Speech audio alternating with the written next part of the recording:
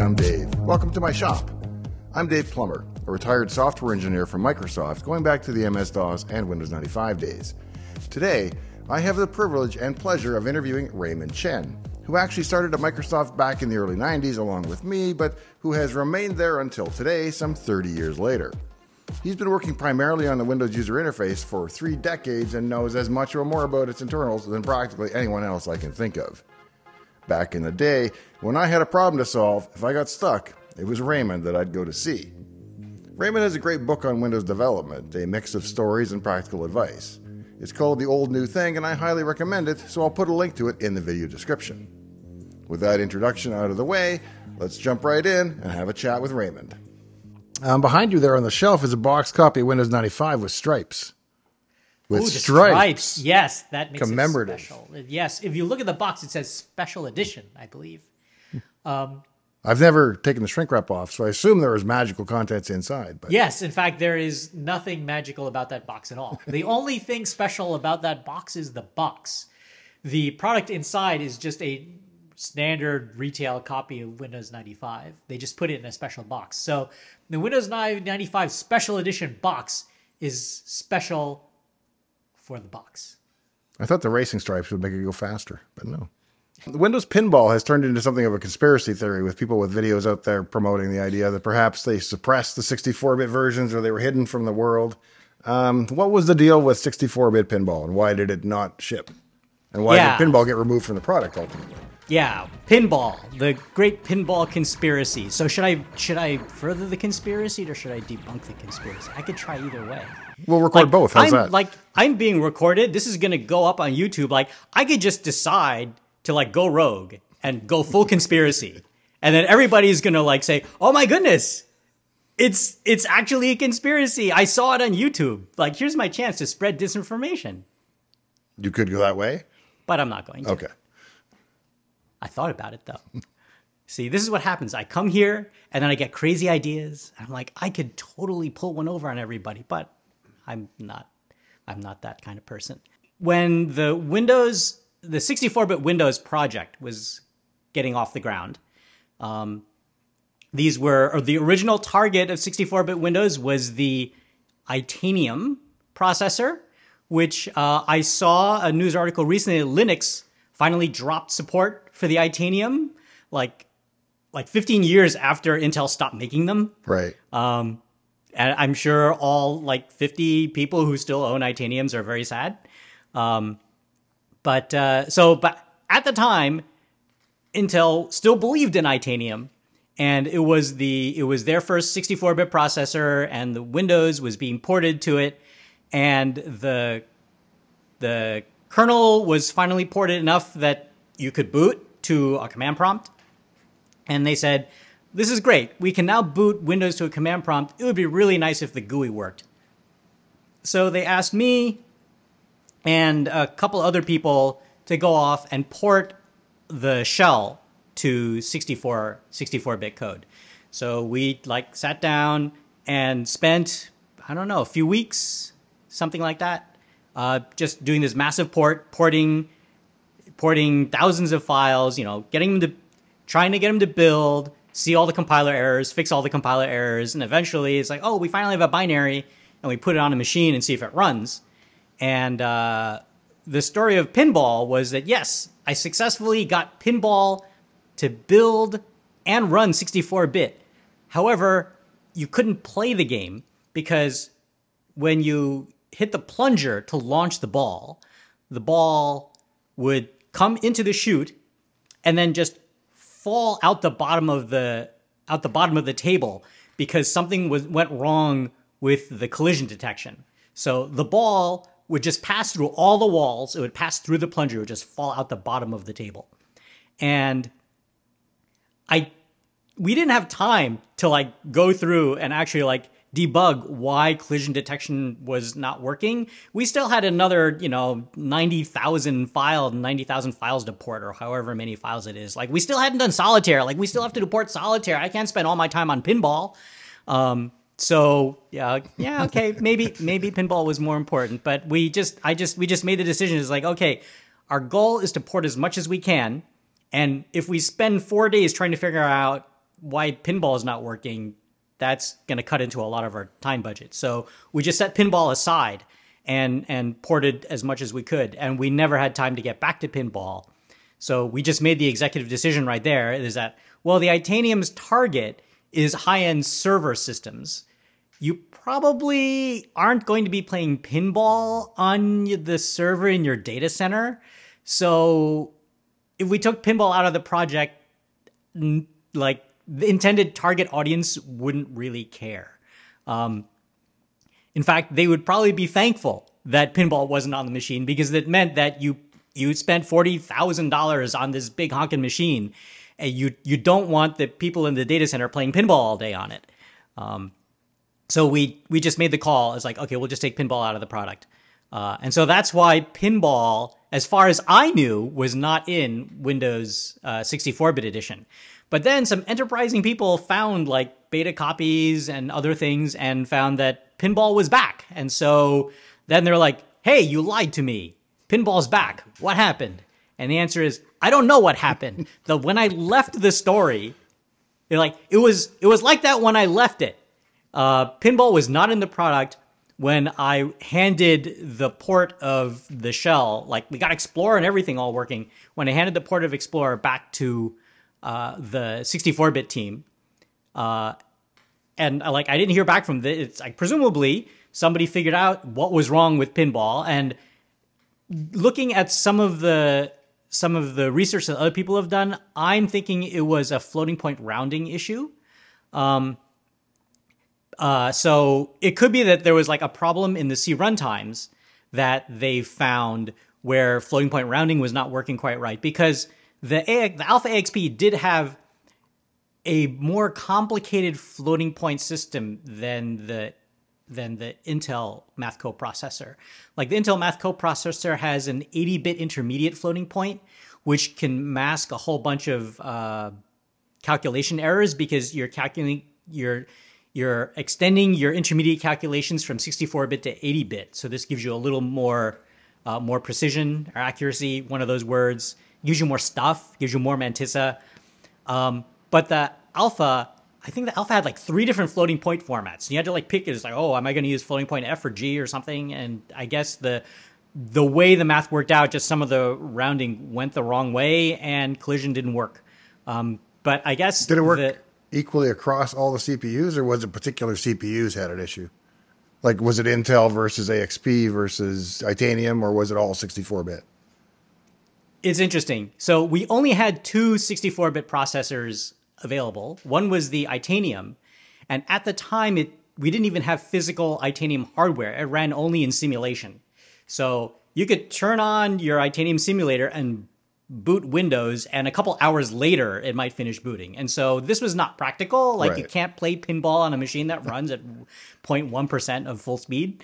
Um, and so what we did was we took all of our old Alpha AXPs because Microsoft had already retired Alpha AXP as a Windows target. Um, and but there were still all these Alpha AXPs still, you know, sitting in developers' offices like doing nothing.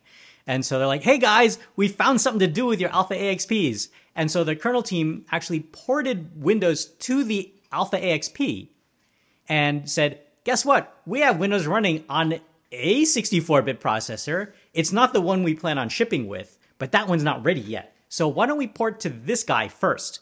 And the expectation was that most of the porting problems were independent of the specific CPU it was, that most of the porting problems would just be in getting any 64 bit version working at all. Okay. Uh, and so all of our actual testing and validation at this stage was done on Alpha AXP because that was the only 64 bit processor that actually existed.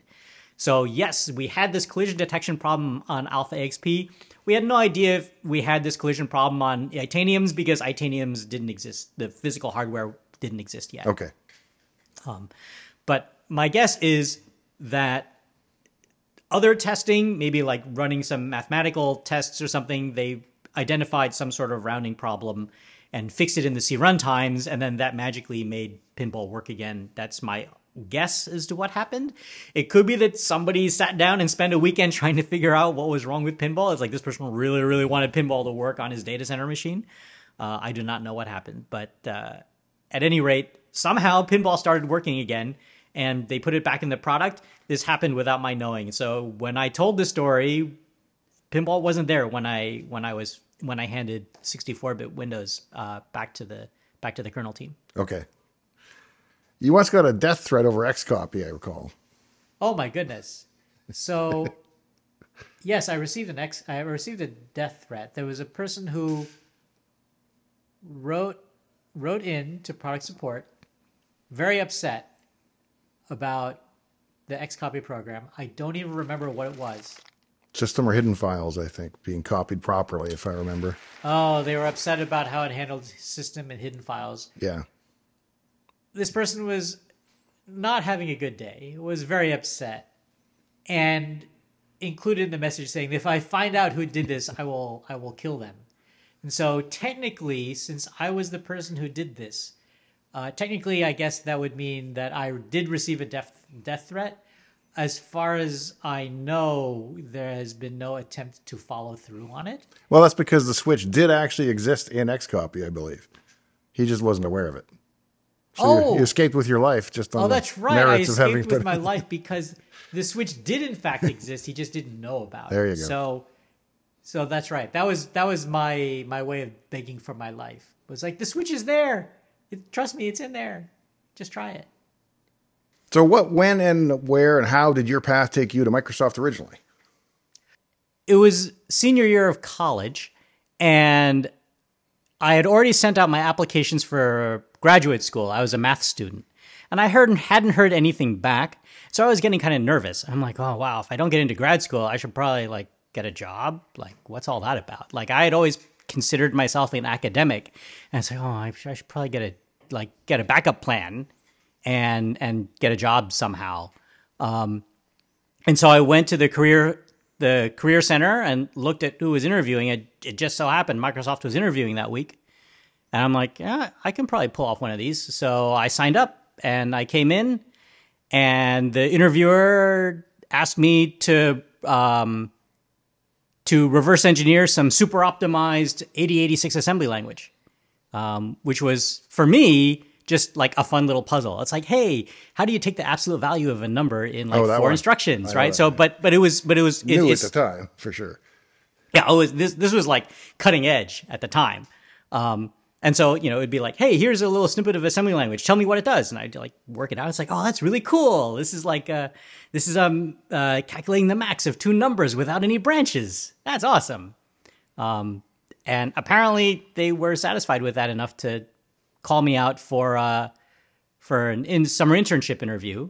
Um, and apparently I passed because they they brought me in. So, you were Um, an intern first then? So I, I was an intern. Uh, in the meantime, my graduate school application, I I got answers back, and I actually got into one of them. So it's like, okay, I will do a summer internship for a year and then go to graduate school. So I did a summer internship at Microsoft. That was in '89, and I worked on, believe it or not, the MS DOS emulation layer in OS2 2.0.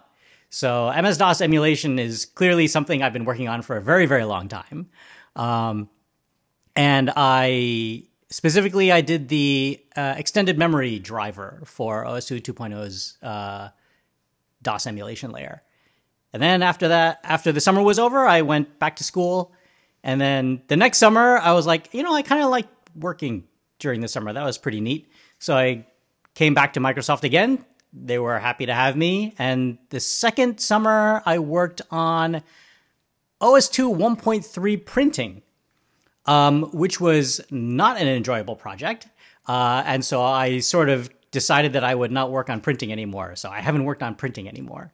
Um, bef- while I was in college during the summer, I did database programming for another for a very small company and that's also why I haven't done any database programming. So I've already realized what types of projects I like and what I don't. Uh, and I stay away from printing and databases. So if you have a question for me about printing or databases, I'm going to skip it and go on to the next one. How do I print my database? How do you print your database? You go and ask somebody who cares.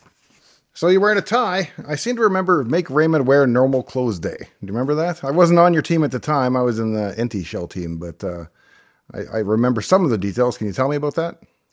Yeah, so my my uh my shtick at work was that I actually wore a jacket and tie to to uh to work, and this was a holdover from my uh, high school days. I went to a school that had a jacket and tie dress code. Okay.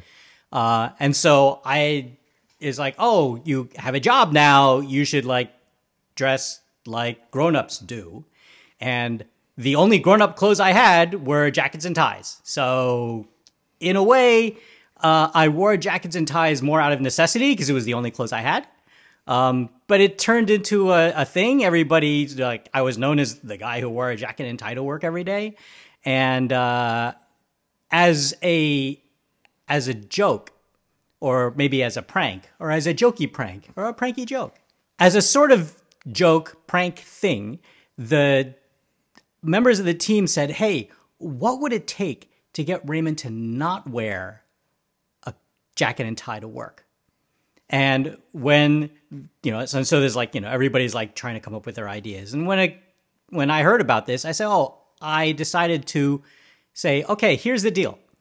I will wear normal clothes to work if everybody else wears a jacket and tie." Um, and for some reason, people thought this was cool and actually wore a, a jacket and tie to to work. Um, so and I turned it into a fundraiser for for my high school. So I I said everybody who participates, you know, I will donate ten dollars for each person who participates. I will donate ten dollars to my high school. So my high school still has me on their donor list because uh, they got it. They got a good amount of money out of it. Good, but you made him wear shoes and a tie and a jacket, right?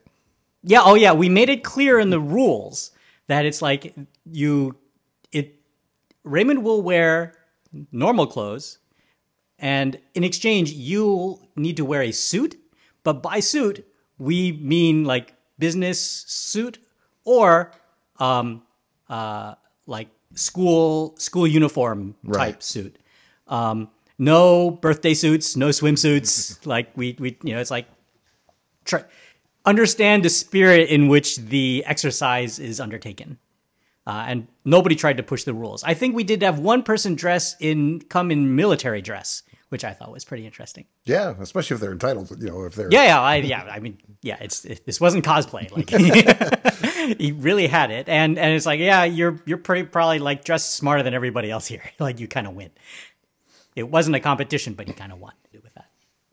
So there was a time there when our offices were like two doors apart. And I remember if I would get stuck on something, I would always be very tempted to, let's just go ask Raymond. Because I know Raymond knows, but I don't want to just be lazy and just ask Raymond all the time. So it was always nice to know you were there. Who does Raymond ask? Does it really um, depend on the area of domain expertise, or are there people? Yeah, I guess one advantage of having been at Microsoft for a long time is I have a lot of names in my Rolodex. Right. And so if I run into a problem and it's like, oh, I'm running into a problem with networking. It's like, I I have friends on the networking team, and I can just like ring them up. And so right. it's it's not like there's one person I go to, but I know I know a lot of people around the around around the company. Most of them owe me favors, and so I get to cash in a favor once in a while. Any good registry stories? Why do we call it a hive?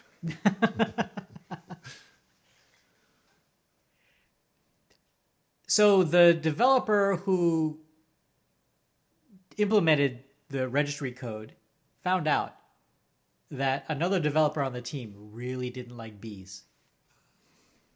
Like was I don't know if he like was was like scared of them or he like aggressively disliked them or he just thought they were too smug or something. But he didn't like bees. And so the developer who was writing the registry code decided to needle his colleague by naming all of the data structures in the registry after things related to bees. And so registry keys are kept in units called cells, which are the little hexagonal things inside the hive. And the registry, the main registry file itself is called a hive. So he basically tried to jam as many bee related terms into the registry code, uh, specifically just just to just to annoy his his colleague who didn't like bees. So if you wonder now why a registry a registry file is called a hive, it's it's because um, one of the lead developers of the IO system didn't like bees. UI question for you. As far as my wife is concerned, the correct answer to any dialogue that she's not 100% sure about is cancel in all cases. And I think a lot of users do that. Have you ever seen manifestations of that? Like whenever whenever faced whenever faced with a confusing question, just always like just try to find a way to not answer the question, which usually means like hit the X or Right. try to cancel out. Like there were I remember we would like one of the things that we would do in the development team is we would take time to go into the product support sit in with product support to um, understand how people are using Windows. And so uh, during one of these product support listen-ins, I remember one person called in was having some sort of problem, and the product support person was working with them on it. And the person said, "Is like I have this problem," and the, it's like, "Yeah, well, we we we already identified this problem, but we should have uh, made an update available to fix this. Um, so when you when you turn on your computer, do you get a little a little message in the corner that says updates are available? And they said, "Yeah, I I think so. There's always this thing that shows up on my screen when I turn it on, but I don't understand it, so I just like close it, make it go away." Your mach- machines were not continuously connected to the internet. You had to like dial in. And Windows is probably not going to sit there and it's like, oh, you're dialed in. Let me see if I can download a gigabyte of service updates. It's like, you know, well, we'll try to like, you know, take take a little here, take a little there. Oh, oh wait, he's actually browsing. Let me back off. That type of thing. Um, and so people were just not used to the idea of an operating system that updated itself. Um, and so when this dialogue came up saying, hey, there's an update available, click here to download it, they're like, I, I didn't ask for an update. Like, what's all this? Like, go away. I'm trying to use my computer. Um, and so this is just a, a general lesson that you learn from doing user interface work is that uh, when you display a dialogue to, to people, you want to try to get it so they will at least somewhat understand what it's about. But if any part of it is at all scary, they're just going to say no and do try to get that thing to go away as fast as possible. Like this document contains macros. Do you? I like, I don't care. If the answer, if there's an option between yes and no, they're just going to say no. Um, and so part of it is also you want to phrase your question so that way no is always the safe answer. Right, exactly. Why was the time zone map so challenging in Windows 95, and why, if I pick Formosa, does it not highlight my home area? Ah, the time zone map. So Windows 95 introduced the time zone map. This was like you go to the control panel, call up and pick your time zone just by clicking on the map. And that was really cool and it was cute and it would animate in and it would highlight it and everybody thought that was a lot of fun. Um, until geopolitics entered the entered the picture. So the Windows team used the official United Nations recognized maps to determine uh, where all the boundaries were. But of course, not all countries agree with the official maps uh, published by the United Nations. In fact, there are boundary disputes all over the world. There, like even today, I think the United States probably still has a boundary dispute with Canada somewhere. Um, fortunately, there's there's no military aggression, but you know, like I remember there Yeah. was the story about like that island, but that was in dispute between Canada and Denmark, and uh, but the the conflict was just asserted by each country whenever they visited that island, they would uh, plant their flag on the island and leave a bottle of alcohol, a bottle of whiskey or something on the island. And then when the other country came to visit, they would take down the other country's flag, put up there, and put replace it with their own alcohol. Um, and so, you know, even today we have these uh, border disputes. But back then we were young and naive and thought it's like everybody loves the United Nations. We'll just, you know, if it's the United Nations says so, everybody must be happy. But of course, it, uh, people were not happy. There was a border war in South America. I forget exactly which countries they were were involved. And so, of course, the countries complained that, hey, you're you're giving these like three pixels to that other guy, and those pixels rightfully belong to us. Um, one notable example of this is that there's a uh, border dispute uh, between India and Pakistan over uh, a region uh, that's along their border.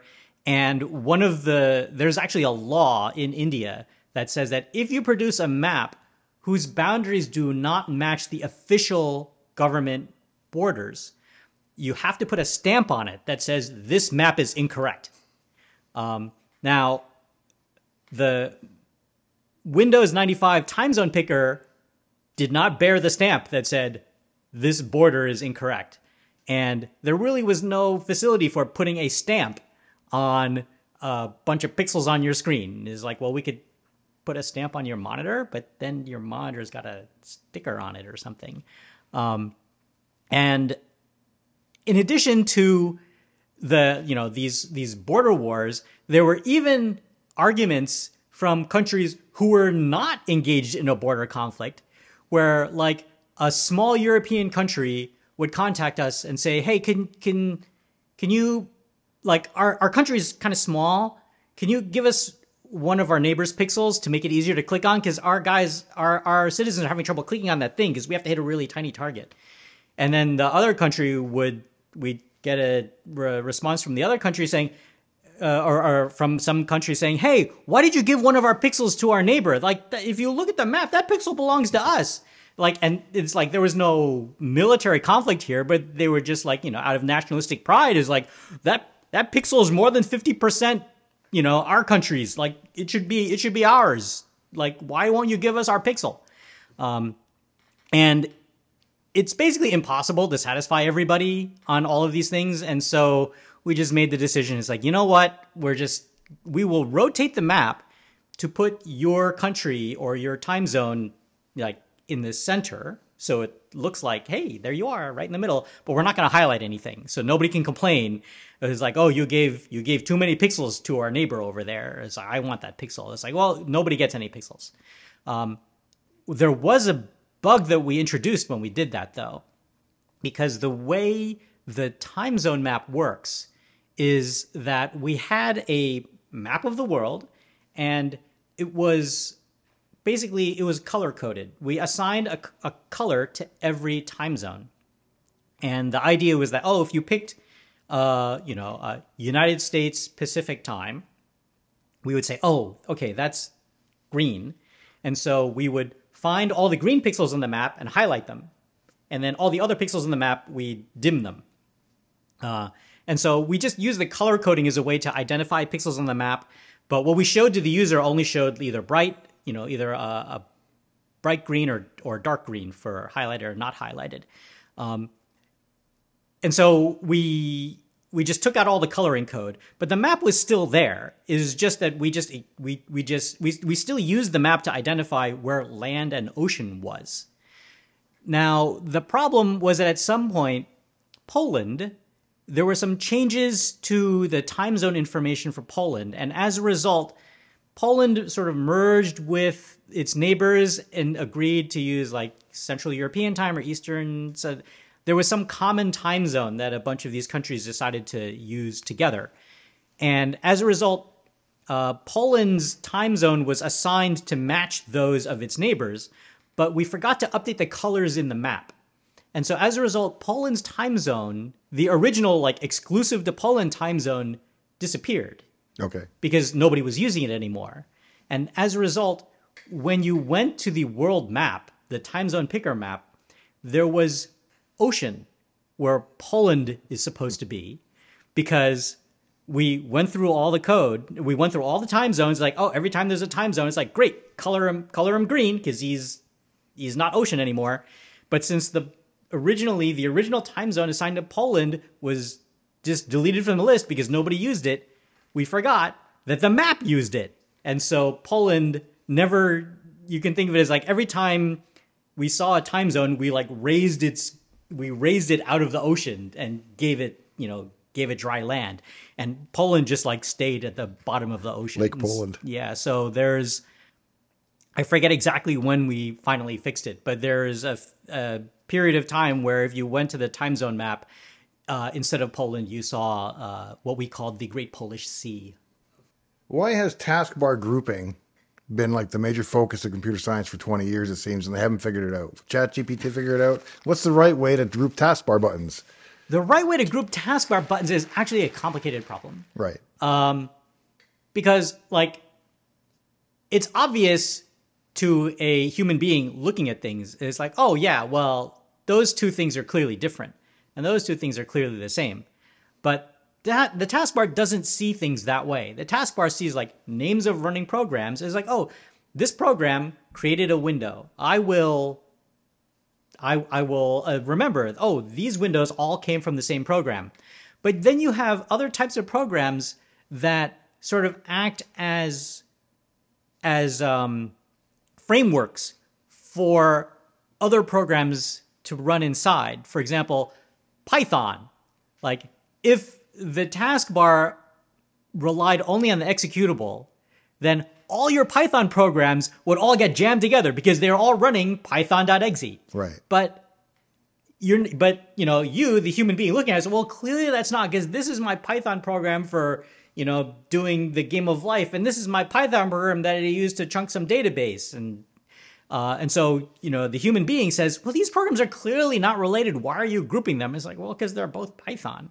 It's like, well, don't do that anymore. And it's like, okay, I have to come up with some rule for deciding when I should decide that two Pythons are the same and when they aren't. And so there are these rules. They're written. They're in the in the documentation. If if you're a program like Python, so you know you don't want all of your Pythons to be grouped together because logically you're not really the program that the user's thinking about. The user's thinking about the script that the Python program is running. Um, then you should do these things to your windows to get them broken up separately.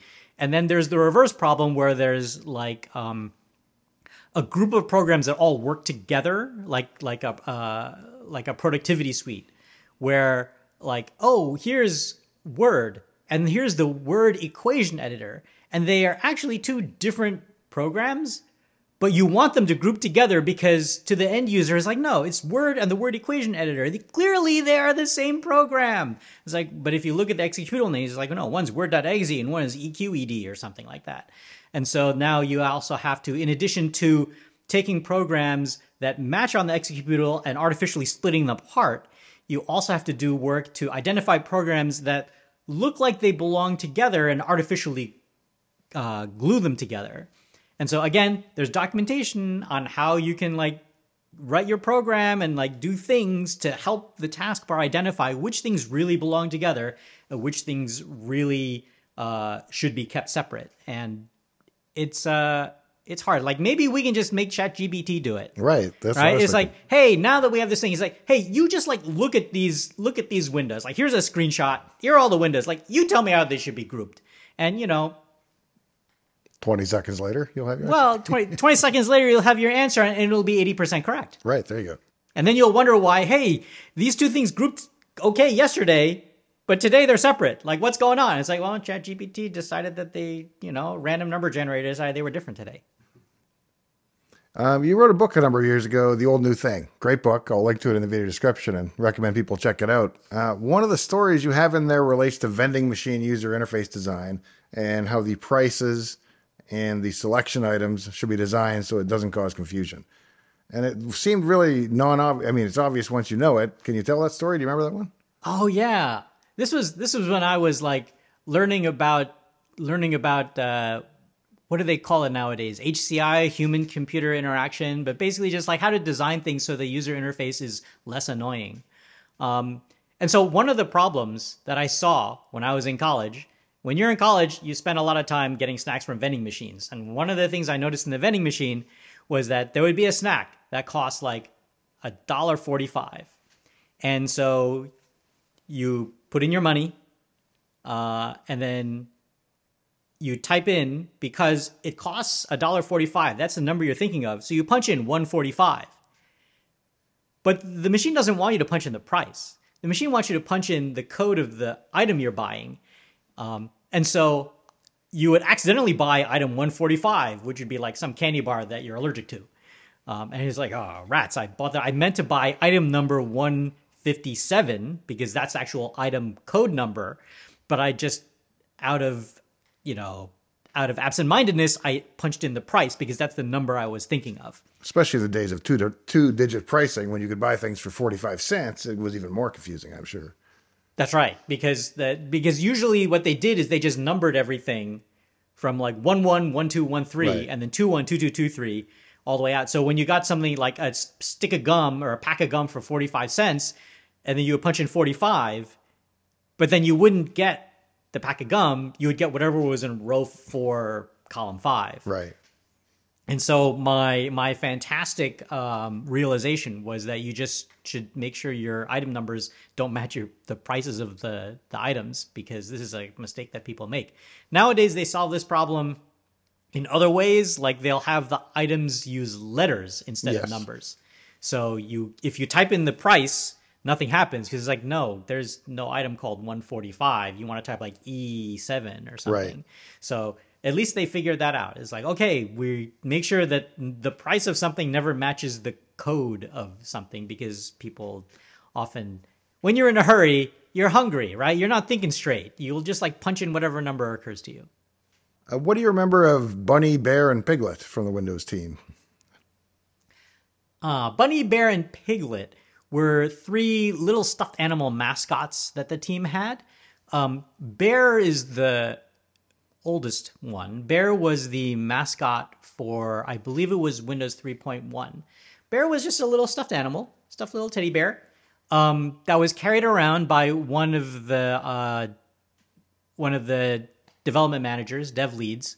Um, he carried it around sort of like a security blanket, like you know, like a like a kid would would carry a stuffed animal. And uh, but of course, uh, this was the day where people expected software developers to be somewhat eccentric, uh, and so everybody just like, yeah, there's Dave. He carries a stuffed animal around. You know, what are you gonna do? Um, not you, Dave. Different Dave. You know, I once walked in and I was holding my stuffed orca, and he had his stuffed orca, and we met in the hallway by mistake. So Oh, so it's the, the meeting of the stuffed animals. it was. Um, but but of course, one of the things that you do when you're you're one of your uh, developers carries a stuffed animal around is, of course, you steal said stuffed animal and hide it, um, and then cause um, cause the other Dave to say, "Has anybody has anybody seen Bear?" And then there would be like you'd like leave a clue. It's like getting colder, and you know this is this was all in fun.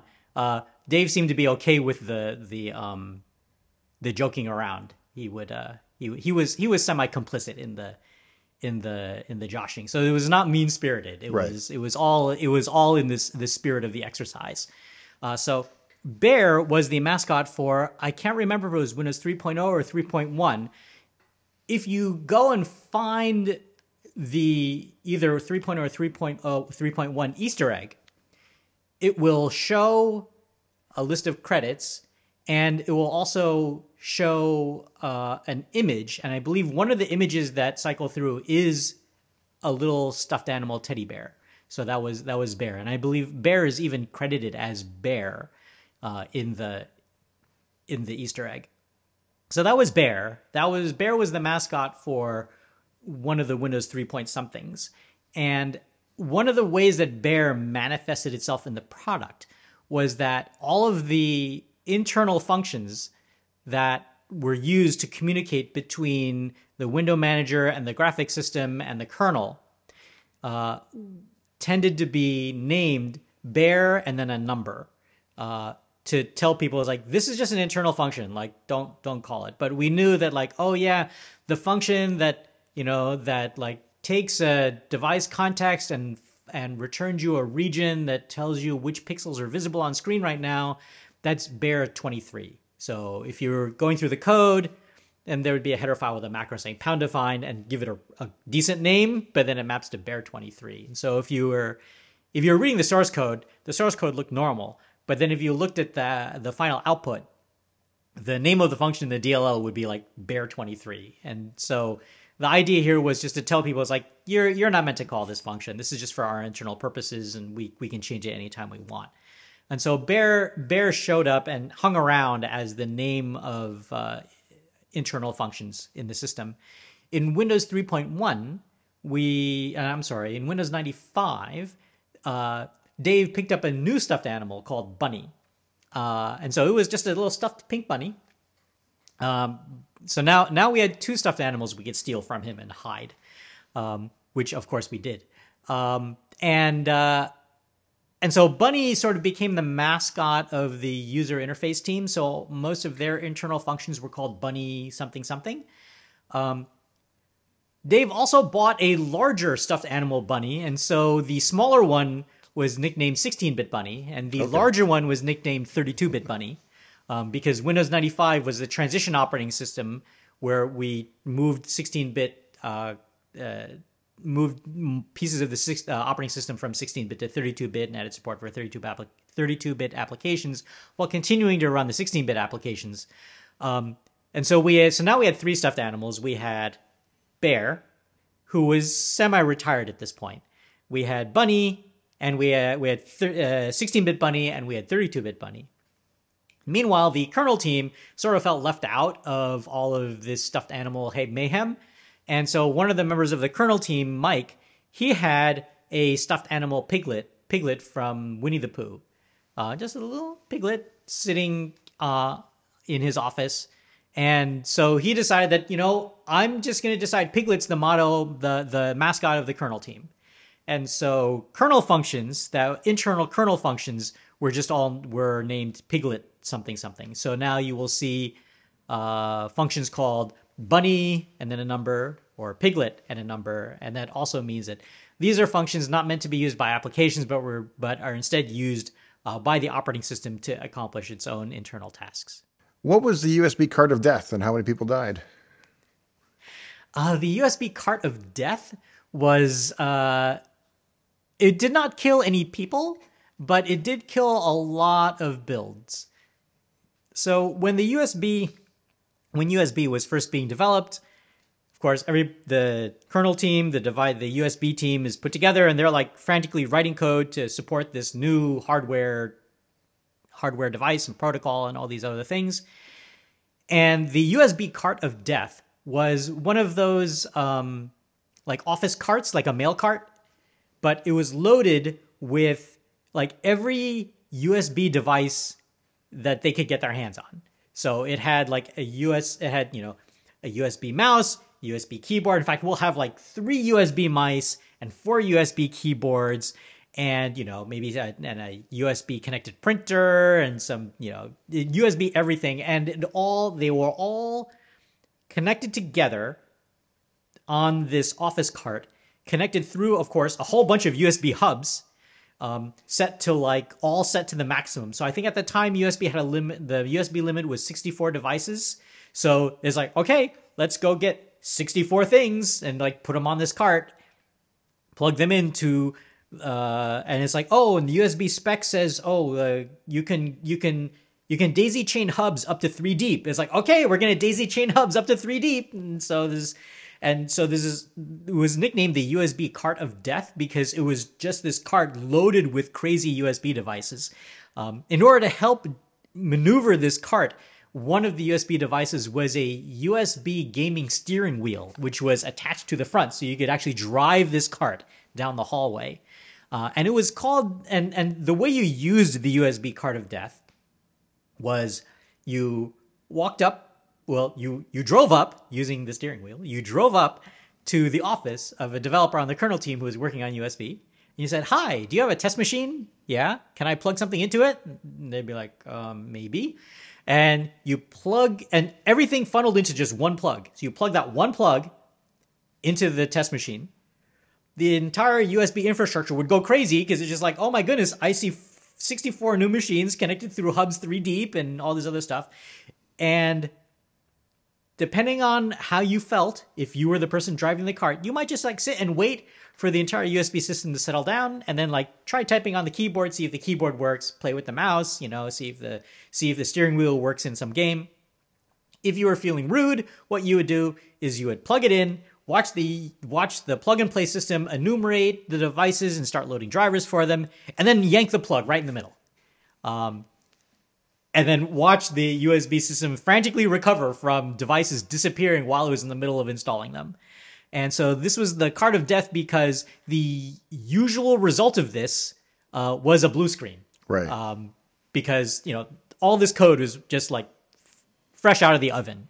And so this thing found like race conditions and all sorts of you know unhandled error conditions, and, and you could just walk into a lab like the USB testing lab, just have a whole row of machines and just use this one thing, the USB cart of death. Plug in, yank it at a you know count to five, yank it. Move on to the next machine. Plug it in. Count to seven. Yank it. Move on to the next machine. Count to seven again. Yank it. Oh, crash in a different way. How about that? Um, and so you could just have every morning an entire bank of machines that have all crashed, waiting for developers, ready for developers to come in and debug and figure out what went wrong so that way it wouldn't crash next time. And it wouldn't crash next time the same way. You would, they'd say, yes, we fixed that bug. And that's great. Let me do it. I yank it. Yes, congratulations. It crashed for a different reason.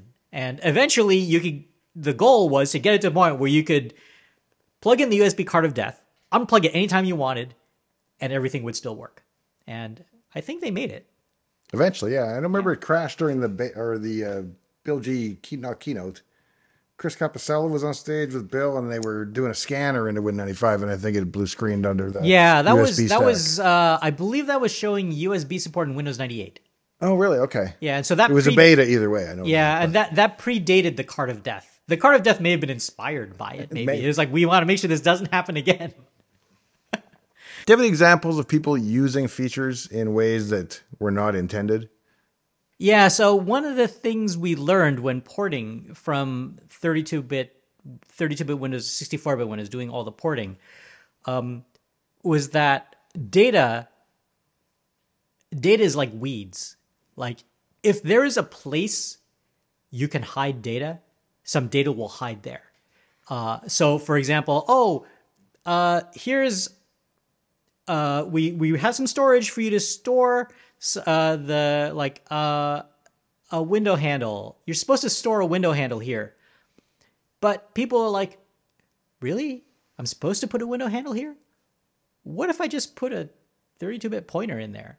It's like as long as I promise never to actually call the thing that uses it as if it were a window handle, you won't even notice that I put something that wasn't a window handle there. And so people just find ways of like hiding data in places that were never intended to hold that kind of data.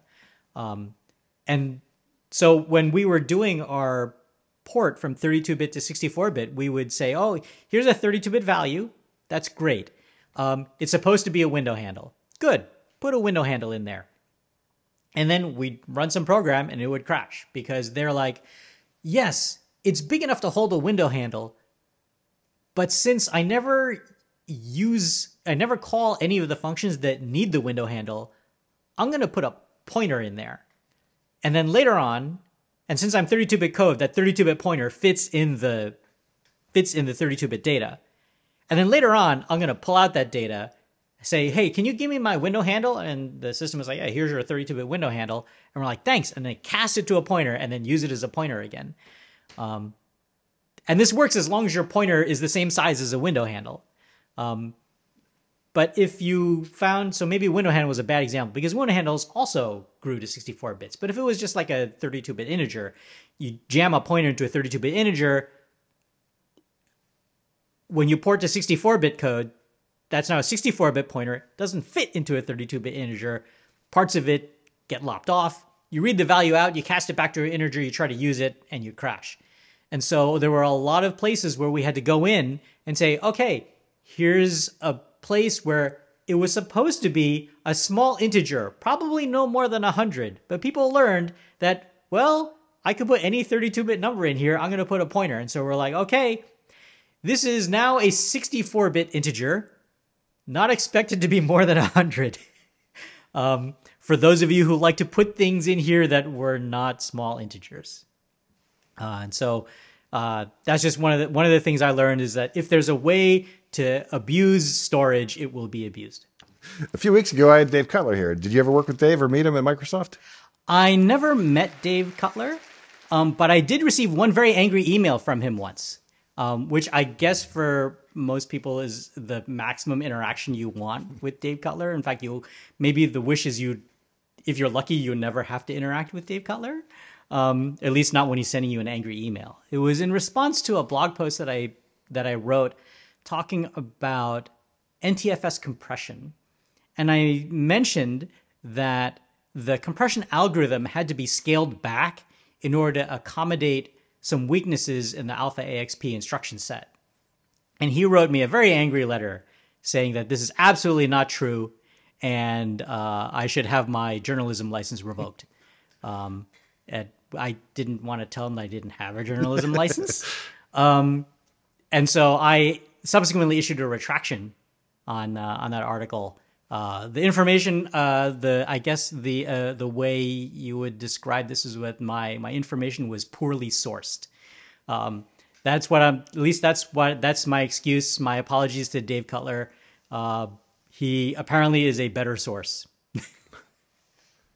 Did you ever uh, run into Bill Gates? I have actually never met Bill Gates.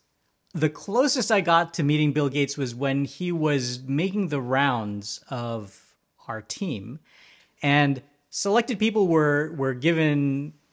Uh, you know, he is basically everybody. We are going to put on a little dog and pony show where he would walk around to people's offices and casually drop in on them and ask them what they were doing. But of course, everybody knew that he was coming and would have a whole a whole presentation prepared for him.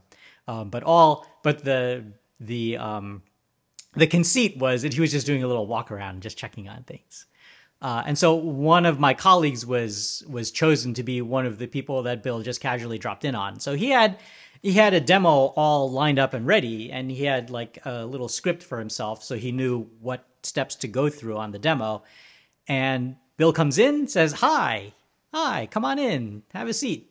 And uh, Bill sits down, and he inadvertently sits down on the sheet of paper that my colleague had written down all of his notes on how to run the demo.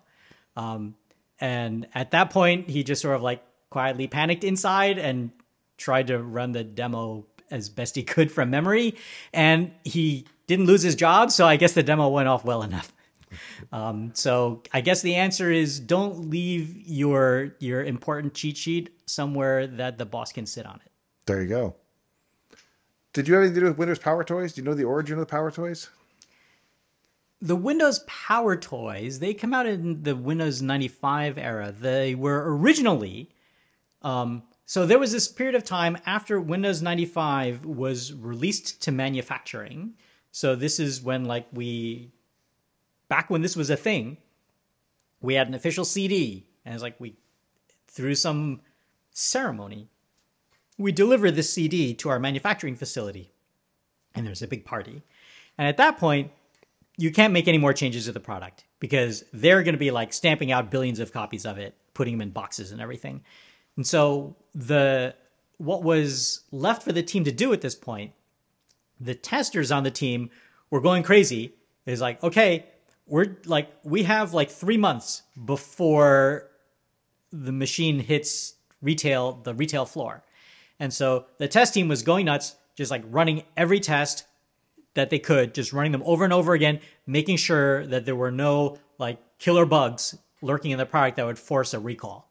Um, the development team, on the other hand, had plenty of time on their hands because it's like I I can't write code. If I write, it, it's too late to write code. Right. It's already done. And so we played a lot of Doom. Um, we uh, we of course every so often one of the testers would find something, a test would fail, and they'd be like, "There's something went wrong with this test It's like, can, can you look at it? It's like, oh, okay, fine, hang on. Sorry, guys, I gotta drop out of this multiplayer game. Gotta go look at a bug. Okay, fine. Um, and then you'd look at it and you might say, it's like, oh yeah, that's a real bug. We'll have to write a knowledge base article to advise users on how to work around it because there's no way we can actually fix it. Like the CDs are already being manufactured. So the best we can do is to document it, um, you know, and uh, provide information so that way the product support people when people call in with this problem they can type in the symptoms and the article will come up and they'll walk people through fixing it. Um, but one of the other things when you were got when you got tired of playing video games was you would just like write fun little programs. And and so the power toys emerged the original set of power toys emerged from uh, the development team themselves who just like wrote fun little things uh, some of them were actually written during the development of Windows 95 as a way of like validating that the architecture worked. So some of them were like shell extensions And so I was like, well, in order to validate that our shell extension architecture works, we should write some shell extensions. Right. And so it's like, oh, I'll write a shell extension for for you know controlling your CD player. I'll write a I'm gonna write a shell extension for like doing a way to copy files to another folder quickly or something. And so everybody just you know came up with these cute little cute little things, and uh, we just gathered them together, put it you know put them in a box, called it the Windows Power Toys, and and and sent them out. Um, and one of the one of the toys was was mine, which I called Tweak UI, which was just a little program that gave you access to some additional settings that were not included in the control panel.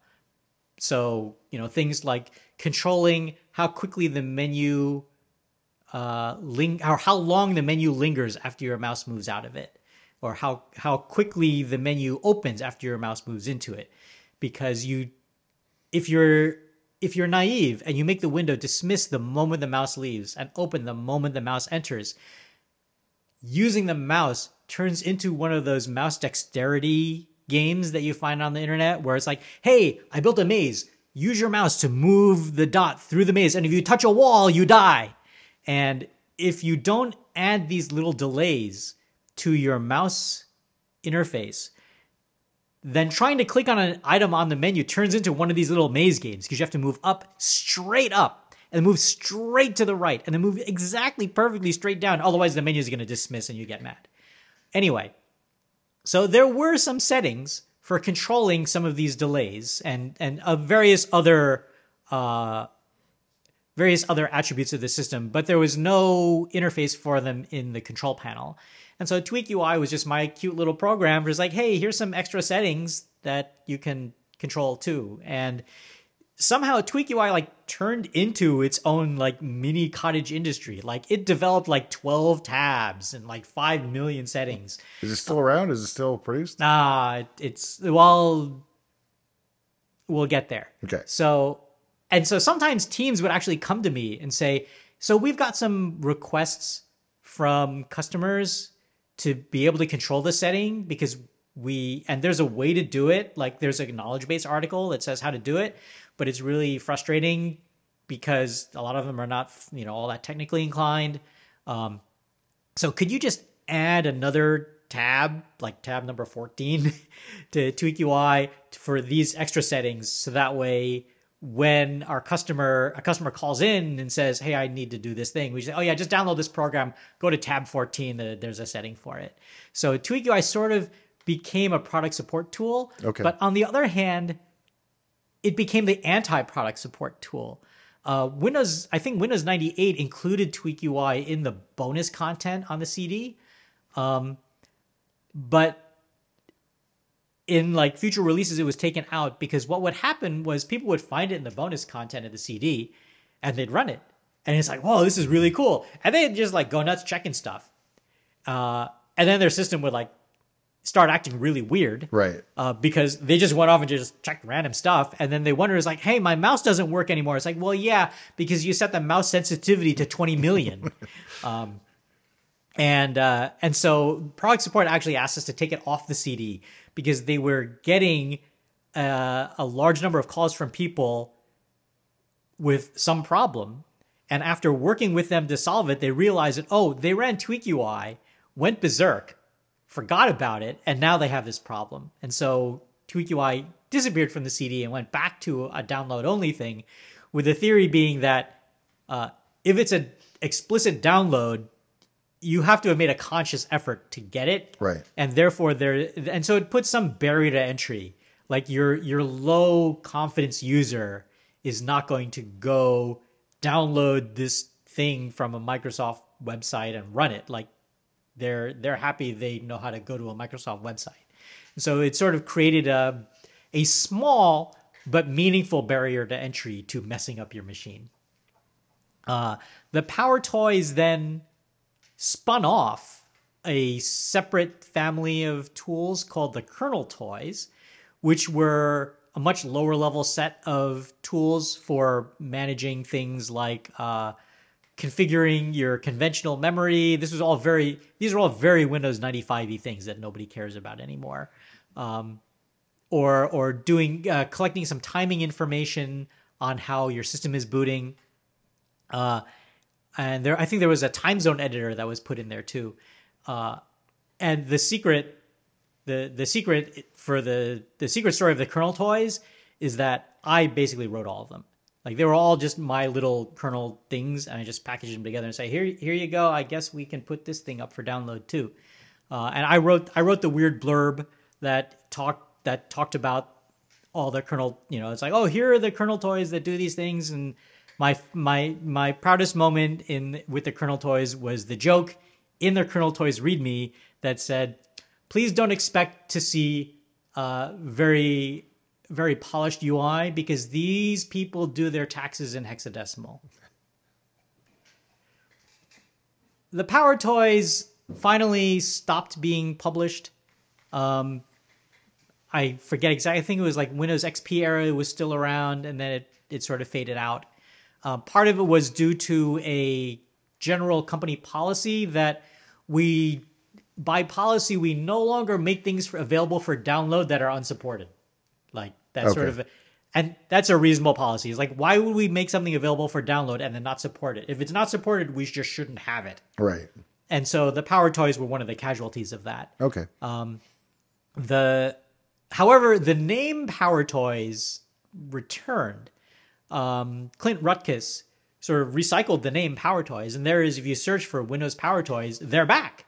Uh, it's an open source project now. There's it's, okay. a, it's in a GitHub repo, and it it's not mine anymore. Like Clint and his pals, like they go off and they write all sorts of cool stuff.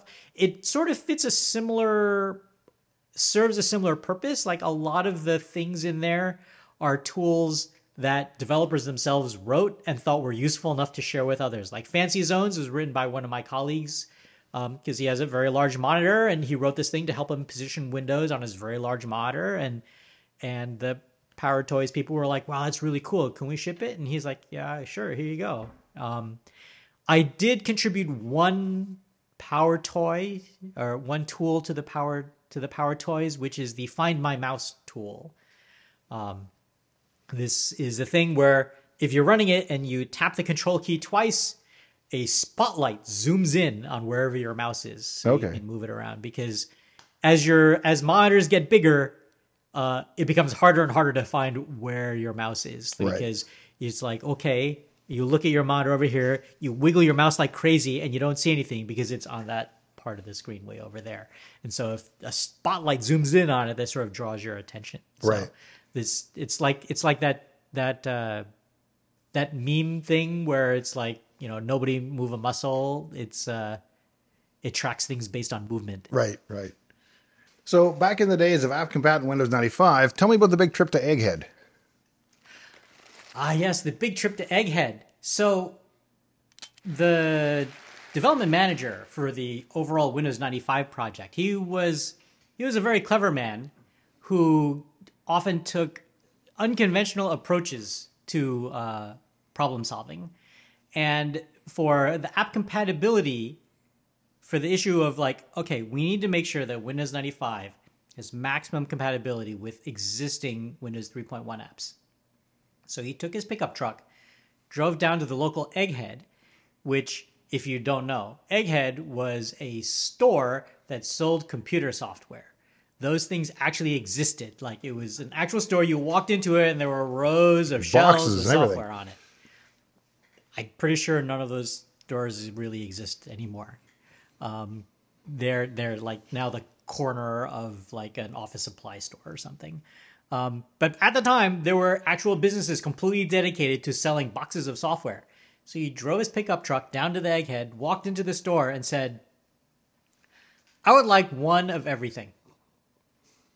And they're like, "Uh, what are you talking about?" It's like, "I would like to buy one copy of every PC software product product that you have on your shelves. And they're like, Really? It's like, Yes. It's like, okay. And the he just loaded up his pickup truck with one one box from every product in the store. I'm sure this completely like you know completely messed up all of their ordering from that store. First of all, that store was probably very, very happy because they hit their quotas for like three years in one day. And, well, maybe not three years.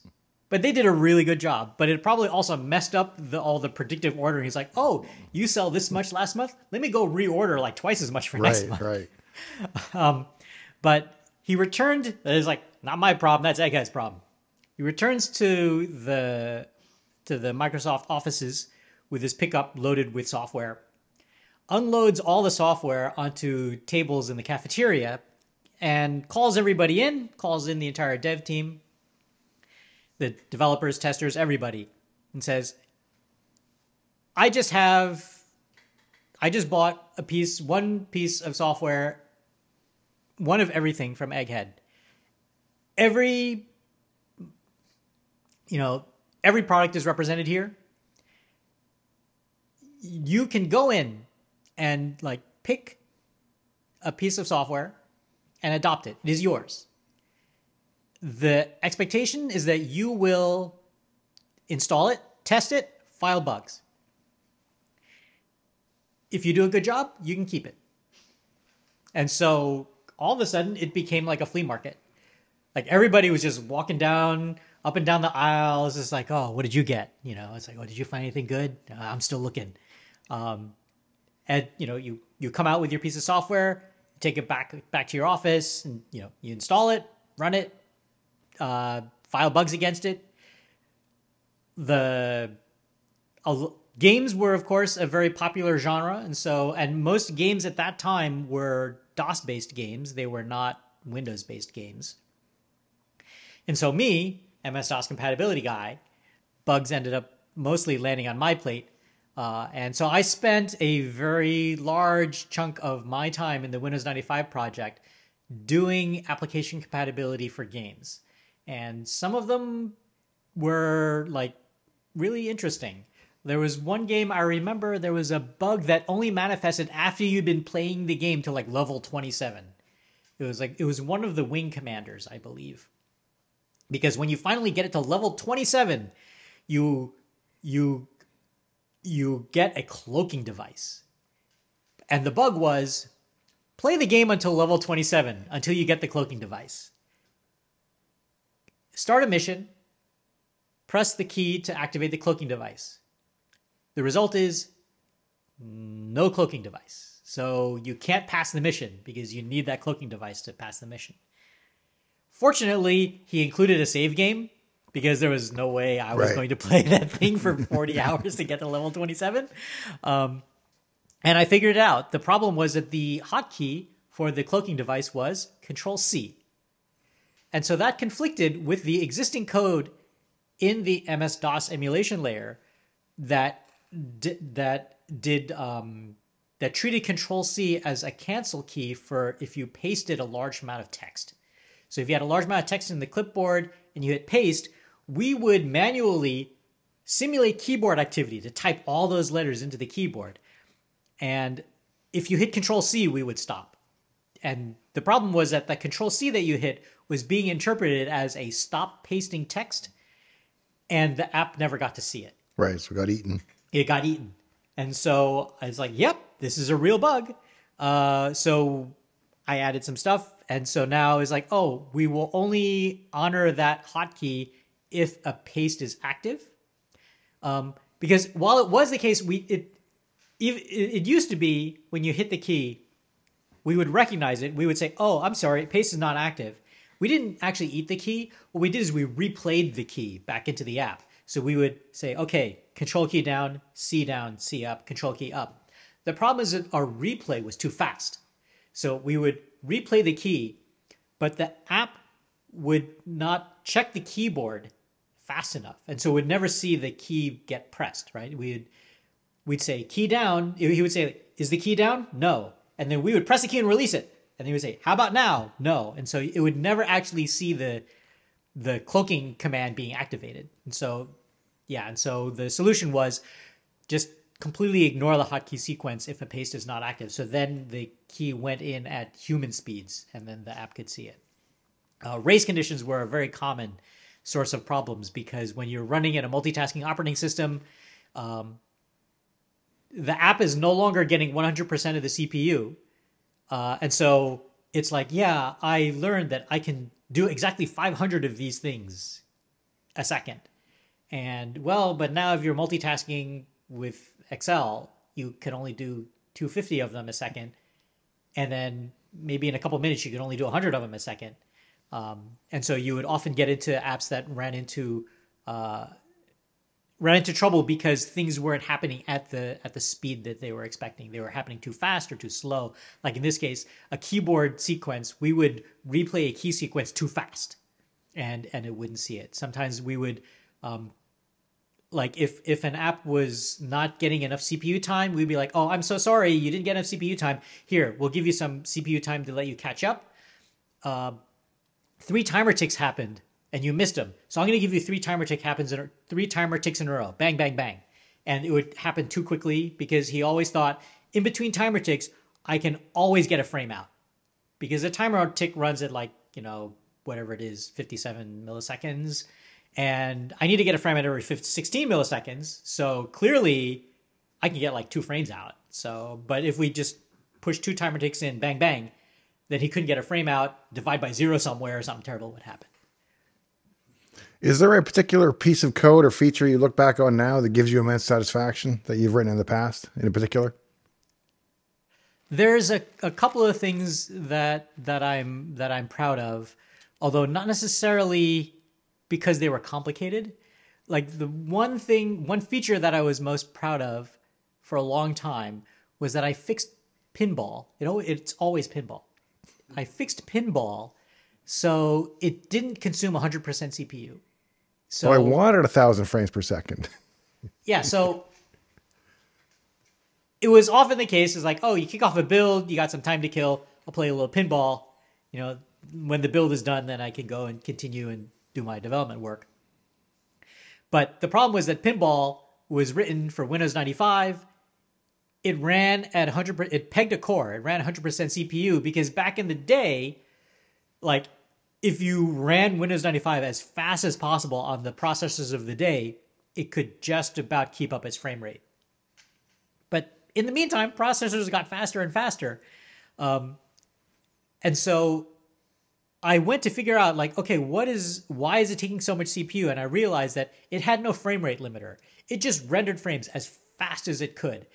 And for fun, I found that there was some debug code to print the frame rate in the upper right hand corner of the screen. So I turned it on, rebuilt it, ran it. It just showed asterisks. And that's because it only included a two or three digit field for the frame rate. But the actual frame rate, now the computers had gotten so much faster, was like it was generating like a million frames a second. And so it clearly didn't fit. And my solution was, oh, I'll just add a frame rate limiter. I will just say, you know what?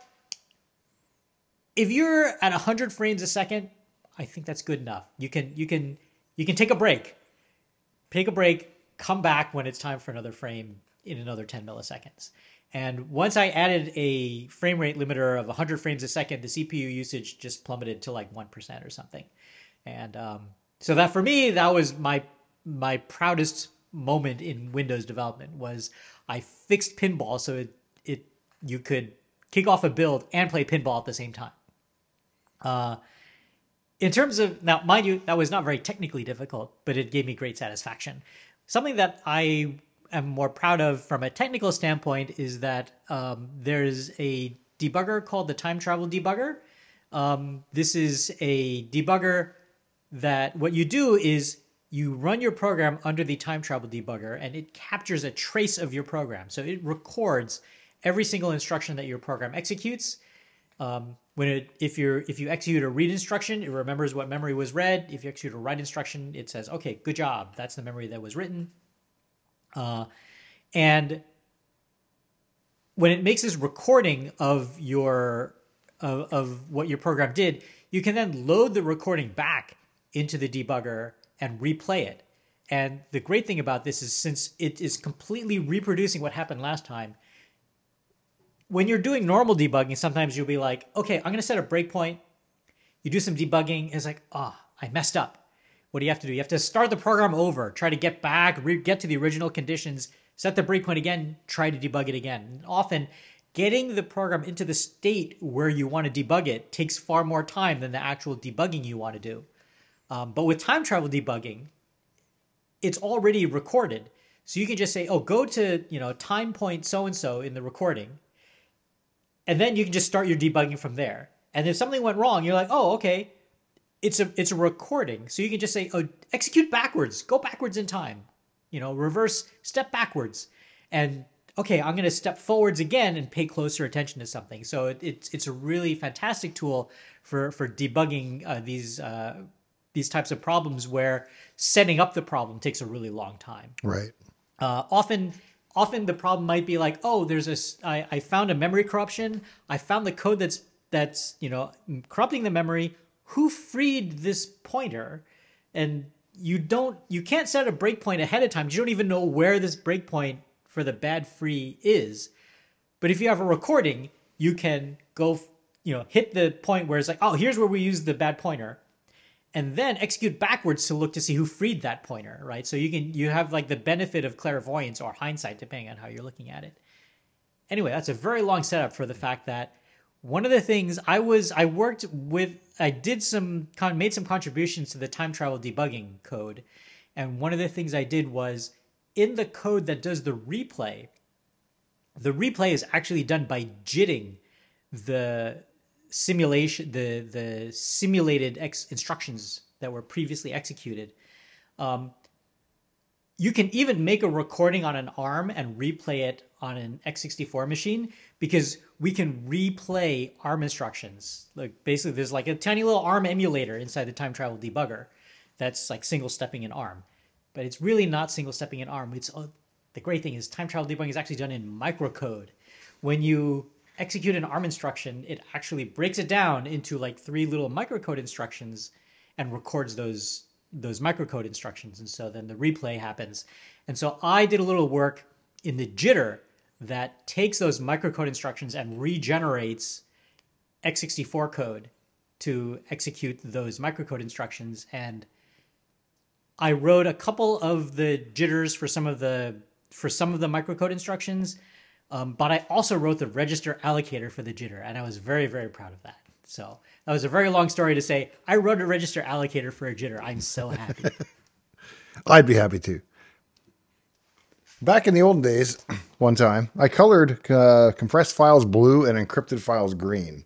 I still argue that's a good idea when it's not the only indication. Um, of course, explain why it's actually a bad idea and what they're doing with it now, because I think they've taken that feature away. Yeah, so yeah, there was a time when compressed files were blue. Was it compressed blue and encrypted green? Yeah. The problem with that, of course, is that uh, there are people who have different types of color blindness, uh, where those color colors like are not distinguishable. Um, and so this is one of the things you always have to pay attention to when you're doing user interface work that involves colors you have to be conscious of the fact that there are people who have uh, uh, visual visual processing or their their problems with color processing in the eye. Either it doesn't pick up on it, or the brain has trouble processing the colors. Uh, and so you can't have color be the sole indicator of any particular piece of information. Uh, and so I, I actually don't know what we do now to indicate that a file is in, is encrypted or compressed. I think we just don't indicate anything. Uh, but if you go to the properties, it'll be listed as whether it's uh, compressed or encrypted. Uh, fortunately, we don't have the problem of trying to show something in two colors at once because a file cannot be both compressed and encrypted. Right. Um, otherwise, we would have to figure out how to do a checkerboard pattern. Or, or aqua. Or aqua. Green and blue. That's mixed. right for for and and now there's like oh another another category of color blindness can no longer use our product.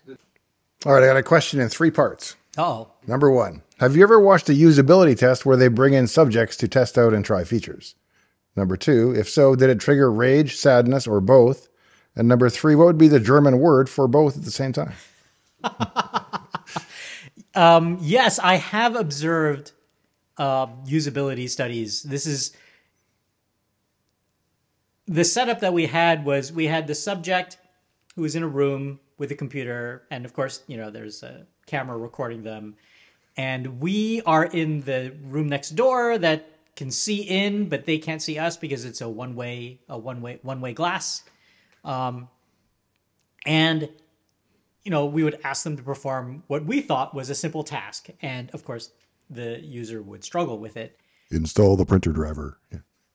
I think actually one of the one of one of the tasks we asked them was here's a document, print it. And they had managed to open the document in in Word or WordPad or something, whatever the program was. And they were looking at the toolbar. It's like, okay, one of these must be print for printing. Um, this was back when toolbars were the cool UI uh, thing. It's like, hey, we put a toolbar in. We'll see if that helps people find how to print things. So they found the toolbar. We're like, yes, toolbar is working. They're looking at the toolbar. And they look at it and they're like, no, no, no. They mouse to the picture of the printer. The mouse lingers on it for like two seconds and they say, no. And then they keep moving. And like, no, boldface, no. And like they had, were right there. It was a picture of a printer. Didn't occur to them that was how you print. And so watching this game or watching a usability study to me is like being an audience member at a game show where there's a contestant up on stage and they have to like guess the price of something and you're like saying higher higher higher no no stop stop stop and you're like screaming at them trying to get them because you know the answer and they don't and the usability researcher actually had to tell us to keep it down. It's like they can still hear you. Can you like not yell at them? Um, and so it is a combination of what was it? Frustration, rage, and sadness. I have frustration, rage, and sadness. The German word for that, uh, I I do not know. My my currently my favorite German word, however, is verschlimmbessern, which is a combination of the verb verschlimmern, which means to make worse, and verbessern, which means to make better. And so verschlimmbessern is to make something worse in a well-intentioned but misguided attempt to make it better. There, I fixed it. Yes. There, yes, it's the there I fixed it. There is a perception that 16-bit Windows is really just a shell running on top of MS-DOS. Can you explain why that's not the case and what makes 16-bit Windows a real operating system? Actually, it is. well, Windows 286 and 386, once you're kicked into protected mode, that was something. Yeah, DOS but that's not did. what we were talking about. Oh, that's that's what I was talking about. I'm Ah, sorry. all right. Yeah, so I can't remember. I think it was Windows 2.0 that added support for the 386. I think so. It was Windows, yeah, that added enhanced mode. And so what happened was there are actually two operating systems running. Um, the window, the Windows 386, which was the internal name for this component, was running a 32-bit operating system. It was a 32-bit multitasking operating system with multiple virtual machines. Um, and inside one of the virtual machines was a copy of 16-bit Windows. And so 16-bit Windows was like running as a program in a virtual machine, and the other virtual machines were used to run your MS-DOS programs. Um, and so you were really running like three operating systems at once. There was the the uh, Win386, the virtual machine manager, which uh, was managing all the virtual machines, providing virtual services like simulated keyboards, simulated timers, um, negotiating who had access to the video card, that sort of thing. And then one of, and then inside one of the uh, inside one of the virtual machines was a copy of Windows, the GUI Windows, and then inside the other virtual machines was running a copy of MS DOS. Uh, and so you actually were running three operating systems all at once, and with the virtual machine manager like being the the main one that's sort of negotiating who gets access to what. Um, but even in that case, with Windows 95, Windows 95 took it even further. It, it started, I think, in Windows 3.11 with uh, Windows for Workgroups, uh, where the file system was taken out of 16-bit code and was written in as a 32-bit device driver. So when a program in the running in the virtual machine, either 16-bit Windows or uh, MS-DOS program, accessed the disk, the the disk I/O operation the the file IO operation was trapped and handled it up in 32-bit mode, and all of the file system code ran in 32-bit mode, and then the results were given back to you in it was returned to the original application, which meant that like even though you had to you started your computer running MS DOS, and then you ran Windows. The Windows you ran actually first ran Win386, which sort of put the original copy of MS DOS to sleep, just took over the operations from it, and then ran uh, Windows and MS DOS sessions. And so the original copy of MS DOS was like not really running anymore; it was just lying around. Uh, and so you really, you really didn't have MS DOS running the show anymore although everybody thought it did because that's that's what booted the system. But really, Right. MS DOS was just being used as a bootloader. Tell that Actually, story. we should actually, actually remember you did the thing about the uh, Janet Jackson. You you like did. did. your own experiment on it, and then um, did you see the the video that Adam Neely put out about? Um, Was that the musical guy? yeah, Yeah, he did a really nice job on He that. did, yeah, he did a really. He even found a paper that like looked for like what is the resonant frequency of a hard drive. I'm like, hey, it's right there. That was cool. Yeah, he took it one step further. It was really cool. In the window in the Win32 window manager, there is a mouse enter leave, or there is a mouse leave, but there's no mouse enter. Yeah, Exactly. where, where's mouse enter? Yeah, why do you only have one? What's up with that? How would you ever possibly know? How would you know? Well, because the the mouse move message acts as a mouse enter. Because when the mouse moves over your window, you get a mouse move message, and so you can just keep track. The first mouse move message you get after a mouse leave must have been a mouse enter. Right. It's So you set a flag. And it's a sneaky trick. what about long file names? Any uh, heartache come from those when they were first introduced?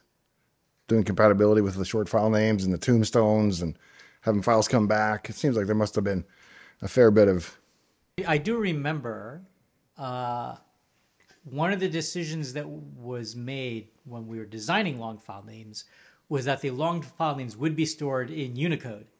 And this was a controversial decision at the time because Unicode is like, dude, that's like take, gonna take up twice as much space as regular characters. Like, who would? That's gonna waste so much disk space. But the but the the the, the engineers who designed it is like, "Chuck, trust me, trust me. You're gonna you're gonna be happy you had Unicode. And it turns out, yeah, that was a that was a good call.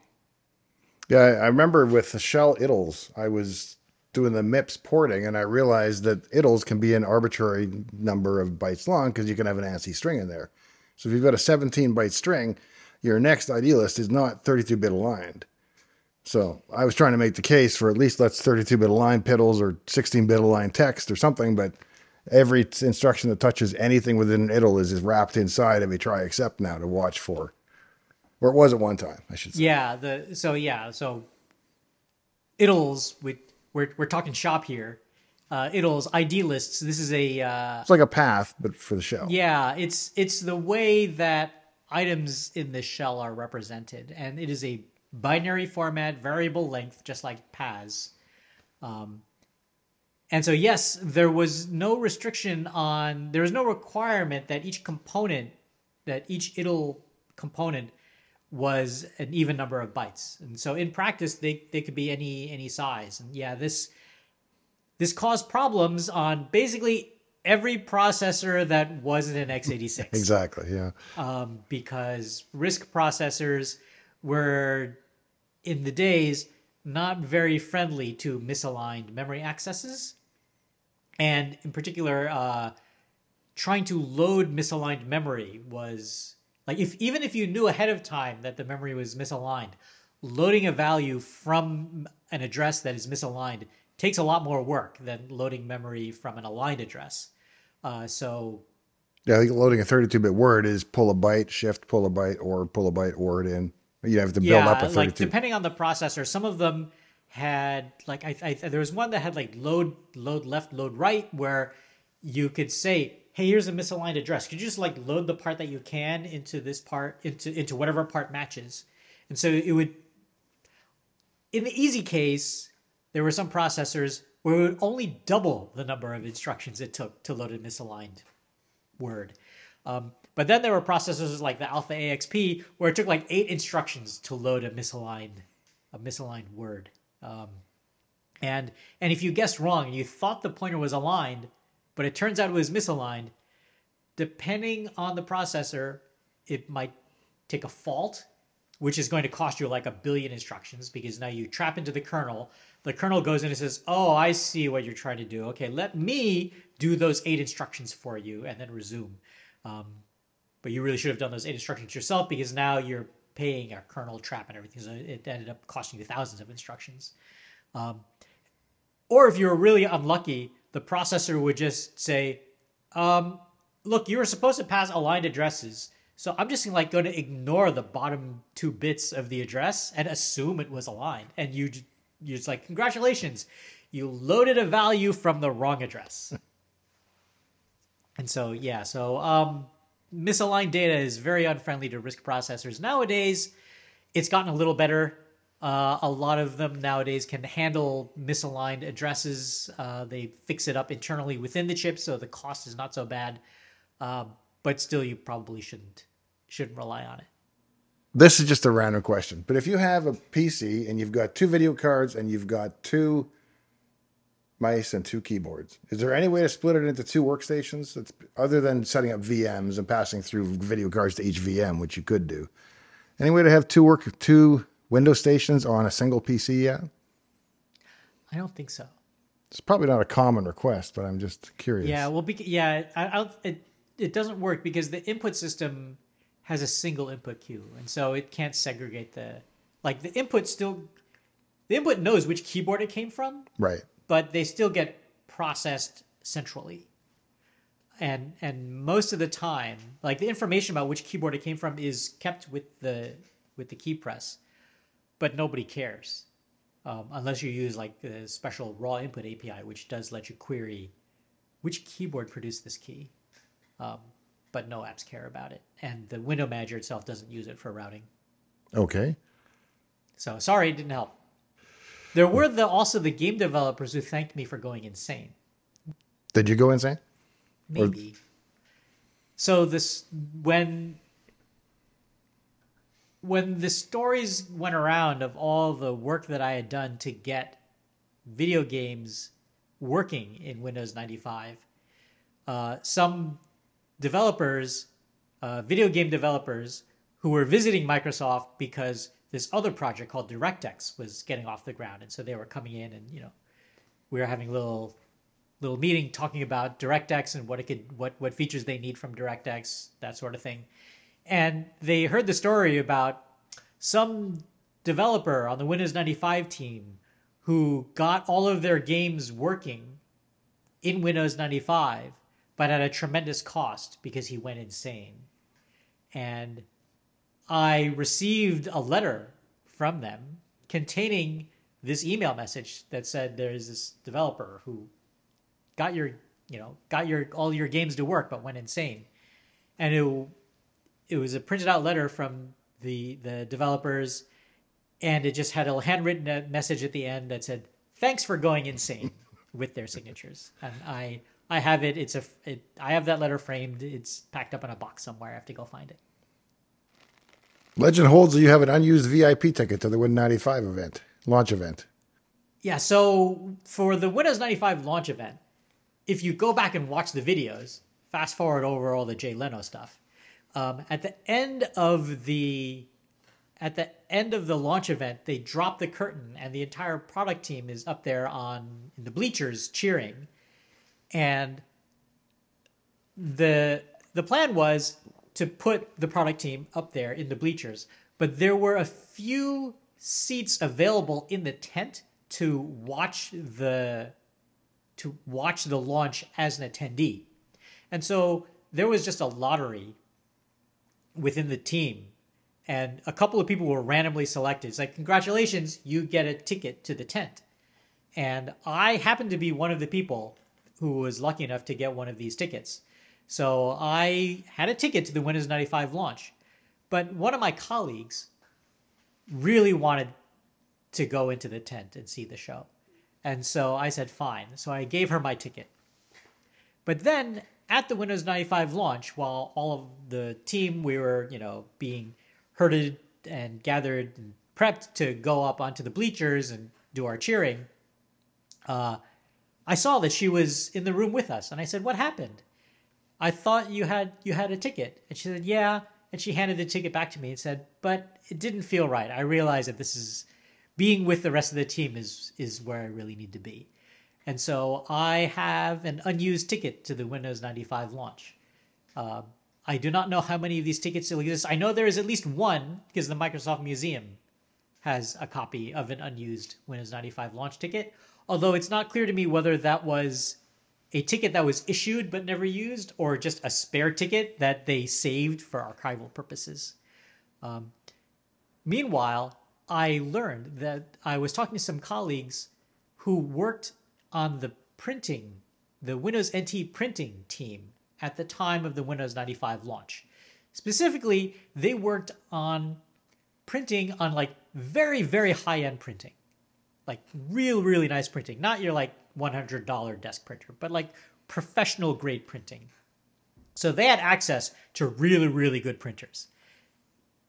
They also were able to like catch glimpses or sneak pictures or otherwise learn what the different tickets to the Windows 95 launch all looked like.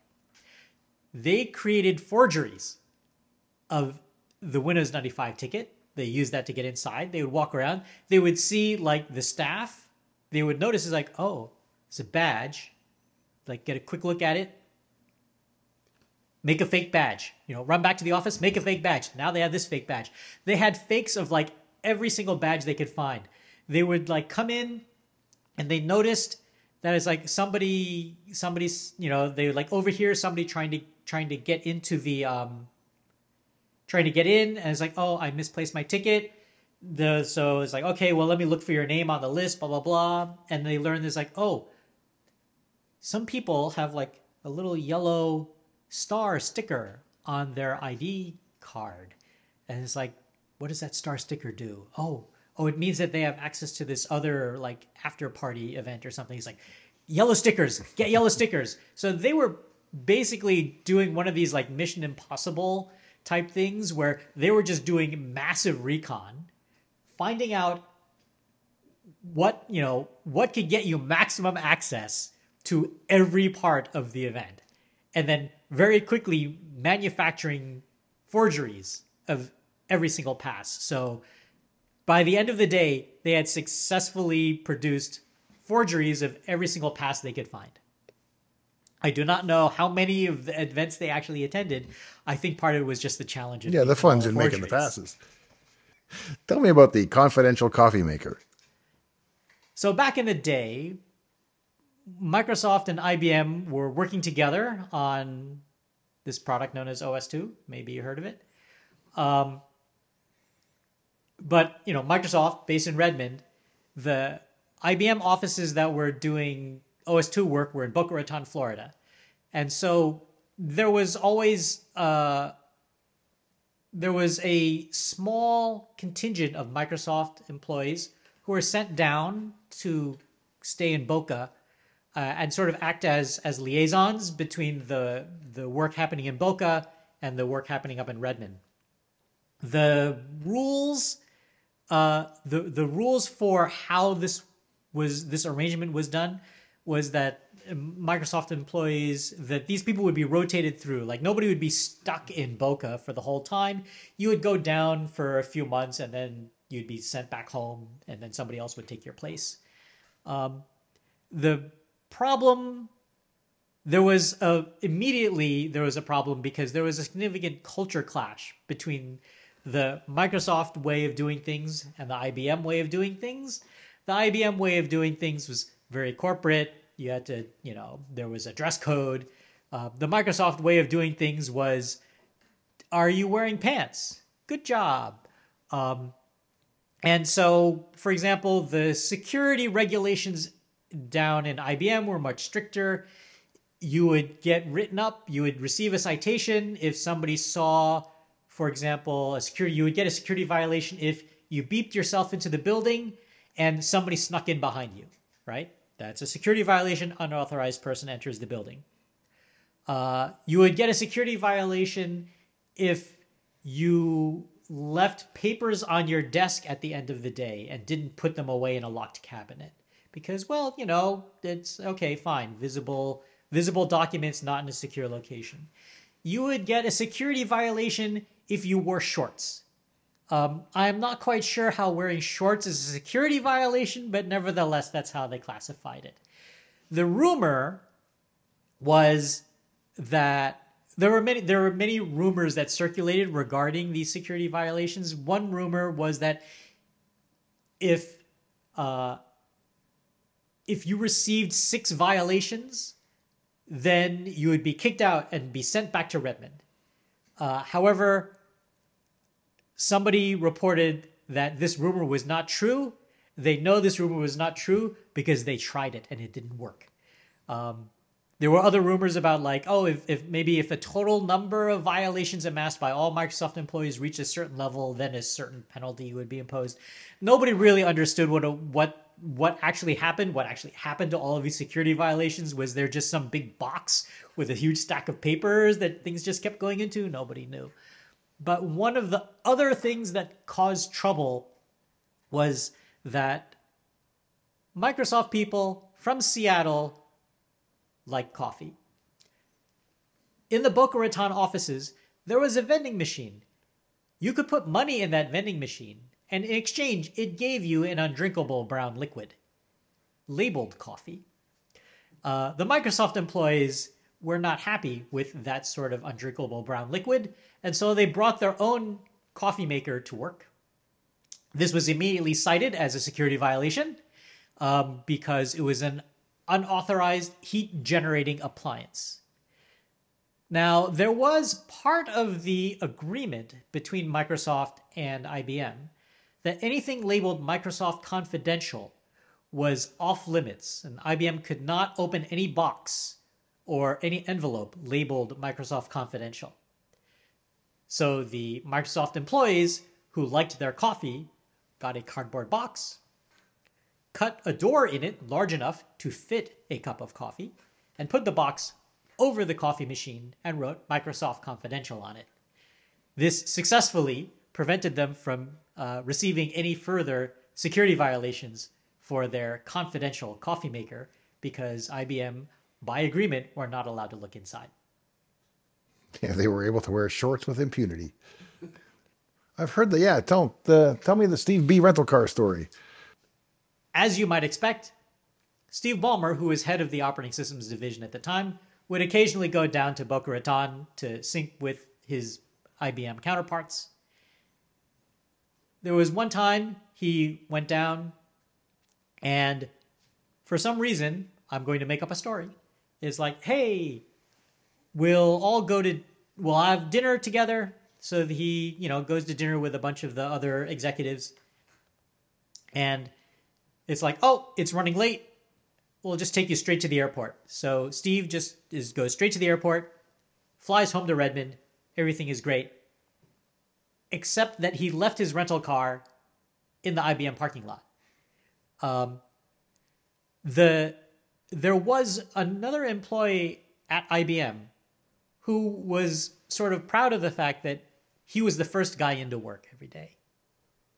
But now he would come in to the parking lot and there was this other car there. And he's like, who is this other employee who is like really diligent and beating me into work every day? And staying late too. And that car, when I leave, he's still there. Like, this guy is crazy. He's like working harder than me. I thought I was the hardest working guy at IBM. But in fact, it was not an employee. It was the rental car that Steve B had left in the uh, parking lot. And when the story of the mysterious, hardworking employee got around, Steve realized is like, oh wait, that was my rental car, um, and presumably uh, had the issue addressed with and had a very large car rental bill to deal with. I once lost my rental car keys on the beach. Ooh, And that's uh, rough. it was. We were having a barbecue or a fire pit out on the beach, and I got lost. And so we searched for hours, couldn't find them. I was had like an hour and a half to get to my airport at this point with the family, and I called Amex and I told them, and they were like, "Okay, we're going to send a tow truck to come tow the car, and we're going to send a van to come pick you up your family, and they'll be there in 30 minutes." I'm like, "Okay, Amex." so I was really impressed. But It's a story that Dave has already told, which is you left your you left your phone number in the in the that's code. true, yeah. Like there was there was a time like under a particular set of conditions, which I think was like certain numbers didn't add together properly. If like, CPU math oh, was greater than 100, basically. Oh, if CPU was greater than 100. And it would break into the debugger with a message saying, if you see this message, call Dave PL and had your phone number. And it hit. And we're like, should we call Dave? I don't know. I, I think we decided not to call you. I've had, I've had one call. You got You one had call? it hit. You, you actually were out of I think I think it I think it actually hit once. Yeah, it turned out to be a kernel accounting bug, and I, you know, I had to prove that it wasn't. That my- wasn't you. Yeah, and the onus of proof is pretty high when you're a new app versus the kernels. I was math guy, but I was also like computer hacker guy. So I, you know, it's like I, I I cut my teeth on the Apple II, Apple II Plus, and like learn assembly language on that thing, disassembling ROMs, patching, patching stuff. Is like I reverse engineered. Like we, my dad, he bought a hard drive. Now, this doesn't sound exciting today. In 1985, buying a hard drive was a big deal. That thing was like this big, and it held like 100 floppies. It had storage capacity equivalent to 100 floppies, had its own power supply and everything. But the drivers for that hard drive only worked with Apple DOS 3.3 and CPM. But Apple had a new operating system called ProDOS. And it's like, oh, how am I going to get this to work? So I actually like spent way too much time reverse engineering that driver enough so that I could get it to boot into ProDOS. Um, oh, that's right. And, and UCSD Pascal was the other. Like it supported three operating systems: Apple DOS, UCSD Pascal, CPM, and I added ProDOS. I still don't know how I managed to pull that off. 6502. Six- It's, it, but it was like was like a lot of 6502 assembly that you're just like staring at trying to figure out. Um, which was particularly because the you know the 6502 only has 64k of address space, and so in order to get all of their firmware code mapped in, it was bank switched. And so it's like, okay, you capture this bank, and it's like, oh, but then you like turn around, look back, He's like the bytes are all different. It's like, yeah, somebody bank switched it to something else. Um, so I never really understood enough of it, but I somehow managed to cobble together enough to get it to actually boot into an operating system that they never intended to support. So then I, you know, so clearly I've developed my hardcore reverse engineering hacker skills, which meant that it's like, oh, first of all, it's like, dude, you're like comfortable in assembly language. That's really great. So it's like, oh, okay. I got myself an 86 assembly language book, like teach yourself assembly language, IBM PC assembly language. Like, great. I learned it now. I now I know IBM PC assembly language. I'm like writing stuff in assembly language because it's fun and because basic is really slow.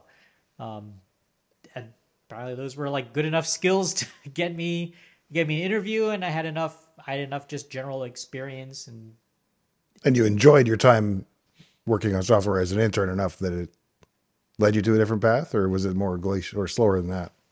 Or did you know after your internship? Oh yeah, yeah. After the after the internship, I was like, this is more fun than math. Right. But I but I did get a full scholarship to get a math PhD, so I should at least give it a shot. Um, so so I went back, did the math thing, and then it's like, okay, I'll that internship was kind of fun. I'm gonna do another. I'm gonna do another summer internship, even though my scholarship would have paid for me to stay there all through the summer. So I actually probably lost money coming to work for Microsoft for the summer Right. um, because you know a lot of the the money you get paid, but then a bunch of your money goes back towards housing, and so the amount of money you actually take home was probably less than I would have made just from my stipend. Right. But I enjoyed it a lot more, and uh, and then I realized like I'm just gonna do this. Like this math thing is not working, So it was like I started hitting a wall in math. It turns out math is hard. Um, you may not have noticed this, but math is kind of hard, at least. And so I had enough. I had enough aptitude to get through undergraduate math and early graduate math, and then I hit my wall. I hit that in grade nine.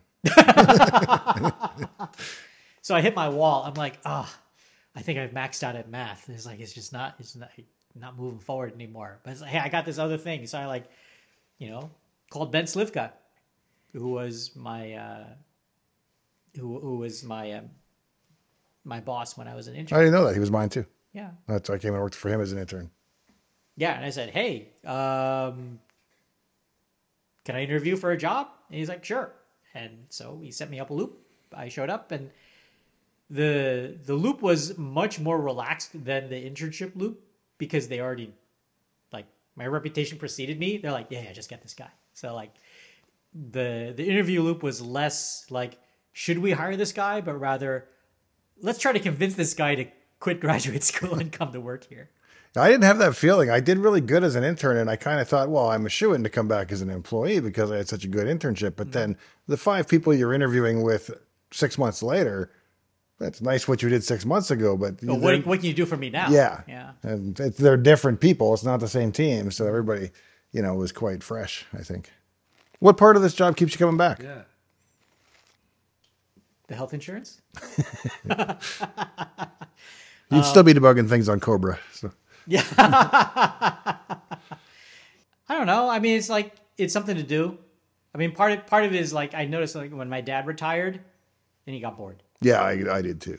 uh, and and so it's like, well, it, it it gives me something to do.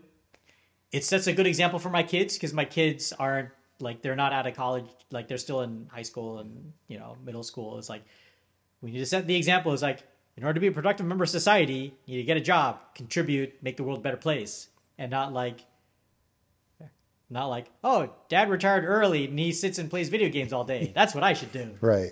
I remember asking Mark Z about that a long time ago. Like, why do you still working? And he's because I've got little kids and they need to see have me kids go to and work then every I- I need to set a good example for my kids. Yeah. What did your father do? Uh, my dad was a college professor. He Wow. taught mechanical engineering, specializing in heat transfer. It, wa- it was like during Maybe he could have helped with that coffee machine at IBM. Well, he would have he would have told them how what they needed to do to keep that thing from burning up the table. Um, like when I was in when I was in college and I'd come home for Christmas break, and I would I would grade my my dad's students' papers, uh, his exams. He would he was like, okay, here's the problem. Like he would basically like in five minutes teach me what it like it took him a semester to Right. teach the, the other students because he only had to teach me enough to be able to grade the problem. It's like okay, you know, it's like, oh, we set up this problem. This is the formula to use. Give them 10 points if they know which formula to use. You know, give them three points for doing the math right. Take a point off if they drop a sign, you know, that sort of thing. Um, but then I would look at the problems and one of, and, and it's like, okay, some of these students are like, they, they, they're like following the cookbook, but not understanding the cookbook. Right. And so it would be like there would be a problem like we're in a room. The room is 20 degrees C. There is a pipe carrying hot water that goes across the room and the water is entering at like 90 C. What temperature is the water when it gets to the other end of the pipe? Assuming certain, you know, Flow rate. very flow rate, insulation characteristics, whatever.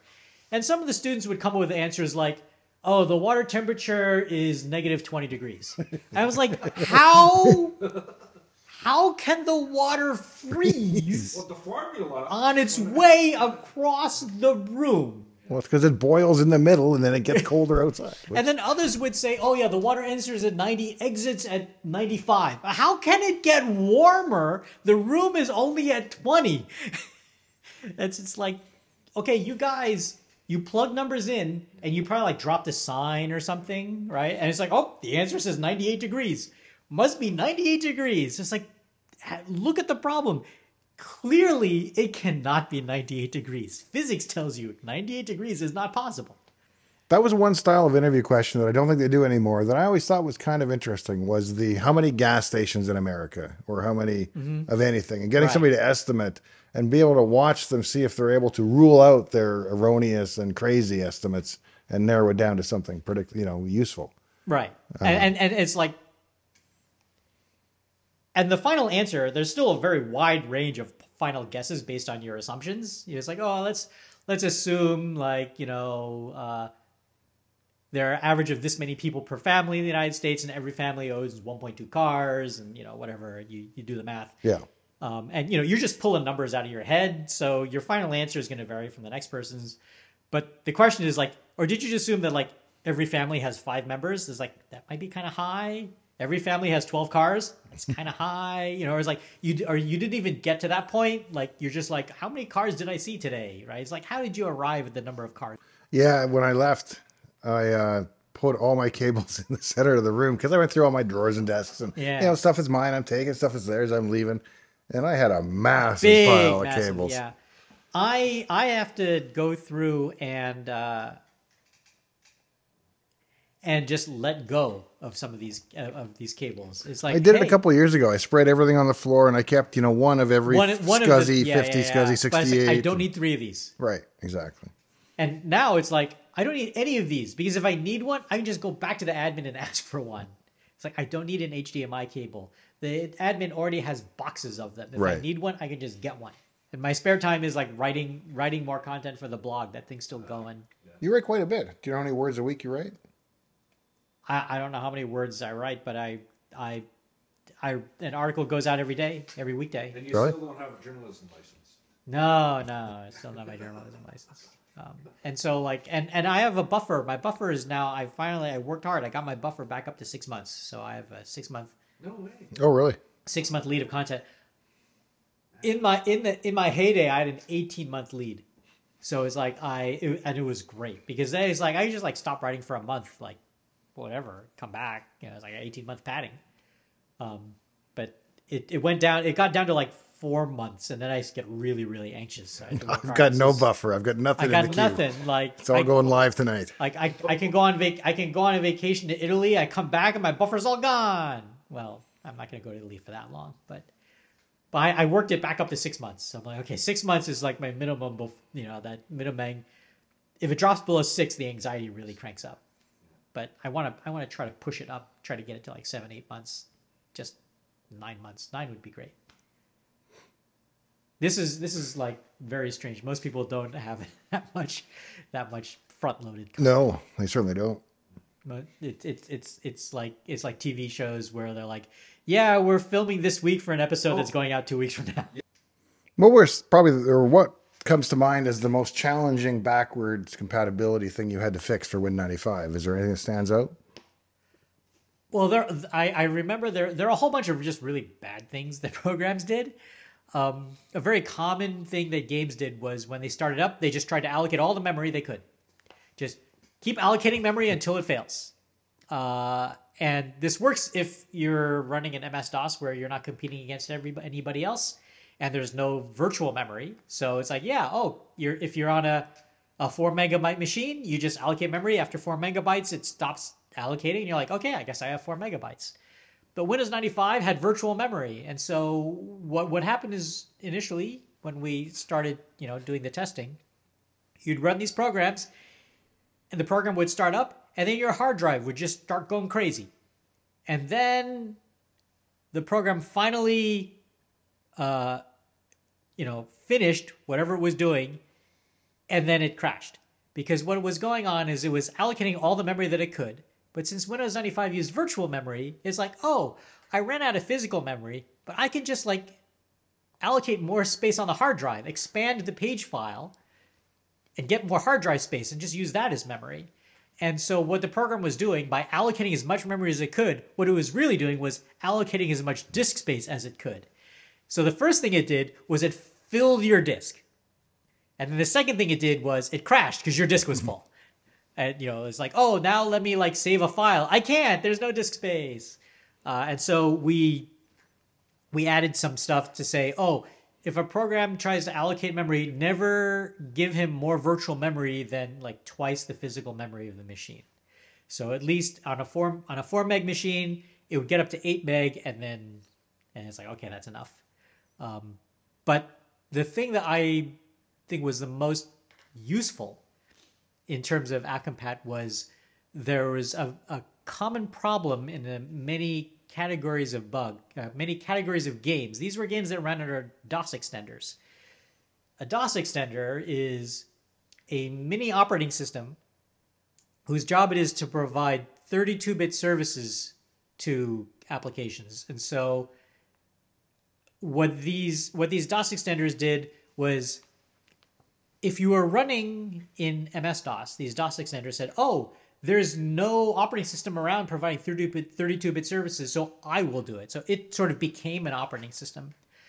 But if an if a 32 bit operating system was already running, they would say, "Oh, there's somebody else providing 32 bit operating system services. I don't need to." Now these programs were written on the assumption that the DOS extender that they were packaged with was the one running the show. And so they would re- rely on things like uh, on various implementation details of their specific extender. And so when the program was running under Windows, their extender said, "No, I'm I'm not in charge. There's already an operating system here. I will let him do it." And so now this program is talking to an extender, namely Windows, that it was never intended to run against.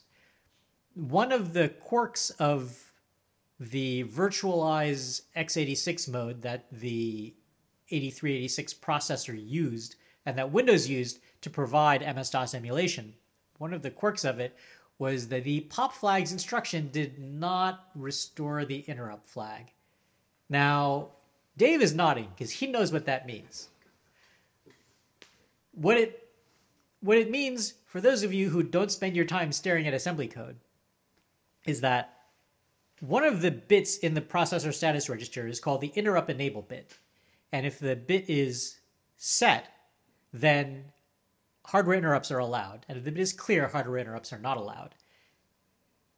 It, is, it was common in these applications when they needed to do some critical code and they didn't want to be interrupted, was that they would save the current processor flags.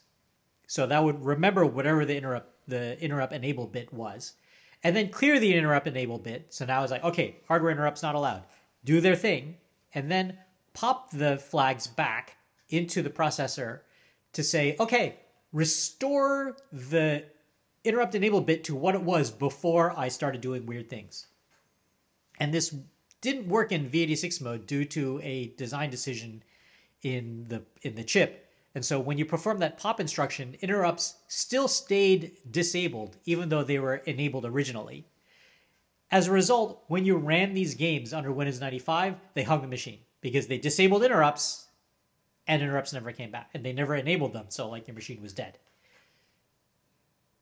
It wasn't me, but one of my colleagues came up with the idea that when we saw that the when we saw that an MS DOS program was disabling interrupts, was performing the interrupt disable instruction, that is a privileged instruction. So we get to trap it and see that it happened we looked around at the code nearby and saw as like, oh, there was a push, and oh, there's a pop coming right up right after it. So I'm going to set the trace flag on the register on in the flags that were pushed. The trace flag is popped back correctly. It is not ignored by the pop instruction. What the trace flag does is it allows instruction execution to execute from one instruction and then raises a trace interrupt, which is trapped by the kernel. The kernel then sees the trace interrupt and says, "Oh, this is a trace interrupt mask that I that I manually requested when the application disabled interrupts." So I will say, "Aha, he finally popped the flags." that contain the interrupt thing set. So now I will re-enable interrupts. So this was our sneaky trick to let that incorrect code sequence, incorrect code sequence, maybe that's the wrong way of saying it, a code sequence that assumed it was running in raw MS-DOS allowed that code sequence to work in Windows 95. And this allowed a large category of games to start working again once we added detection for these special interrupt sequences. Uh, the most important game, of course, in this category was Doom. Uh, Doom was the the top game. It was it was taking over. It was it was taking the world by storm, and uh, we were able to get Doom to run in an MS DOS MS DOS session under Windows 95, which was uh, a tremendous a tremendous success because now we could run the most important game on the planet. Thanks for joining me out here in the shop today. If you found the interview with Raymond to be any combination of entertaining or informative, please make sure you leave a like and that you're subscribed to the channel. If there's sufficient interest, I'll continue bringing you these interviews along with the regular content. In the meantime and in between time, hope to see you next time, right here in Dave's Garage. This little chair will be waiting for one of you, and a rocking chair for another who likes to rock, and a big armchair for two to curl up in. All next time on Dave's Garage.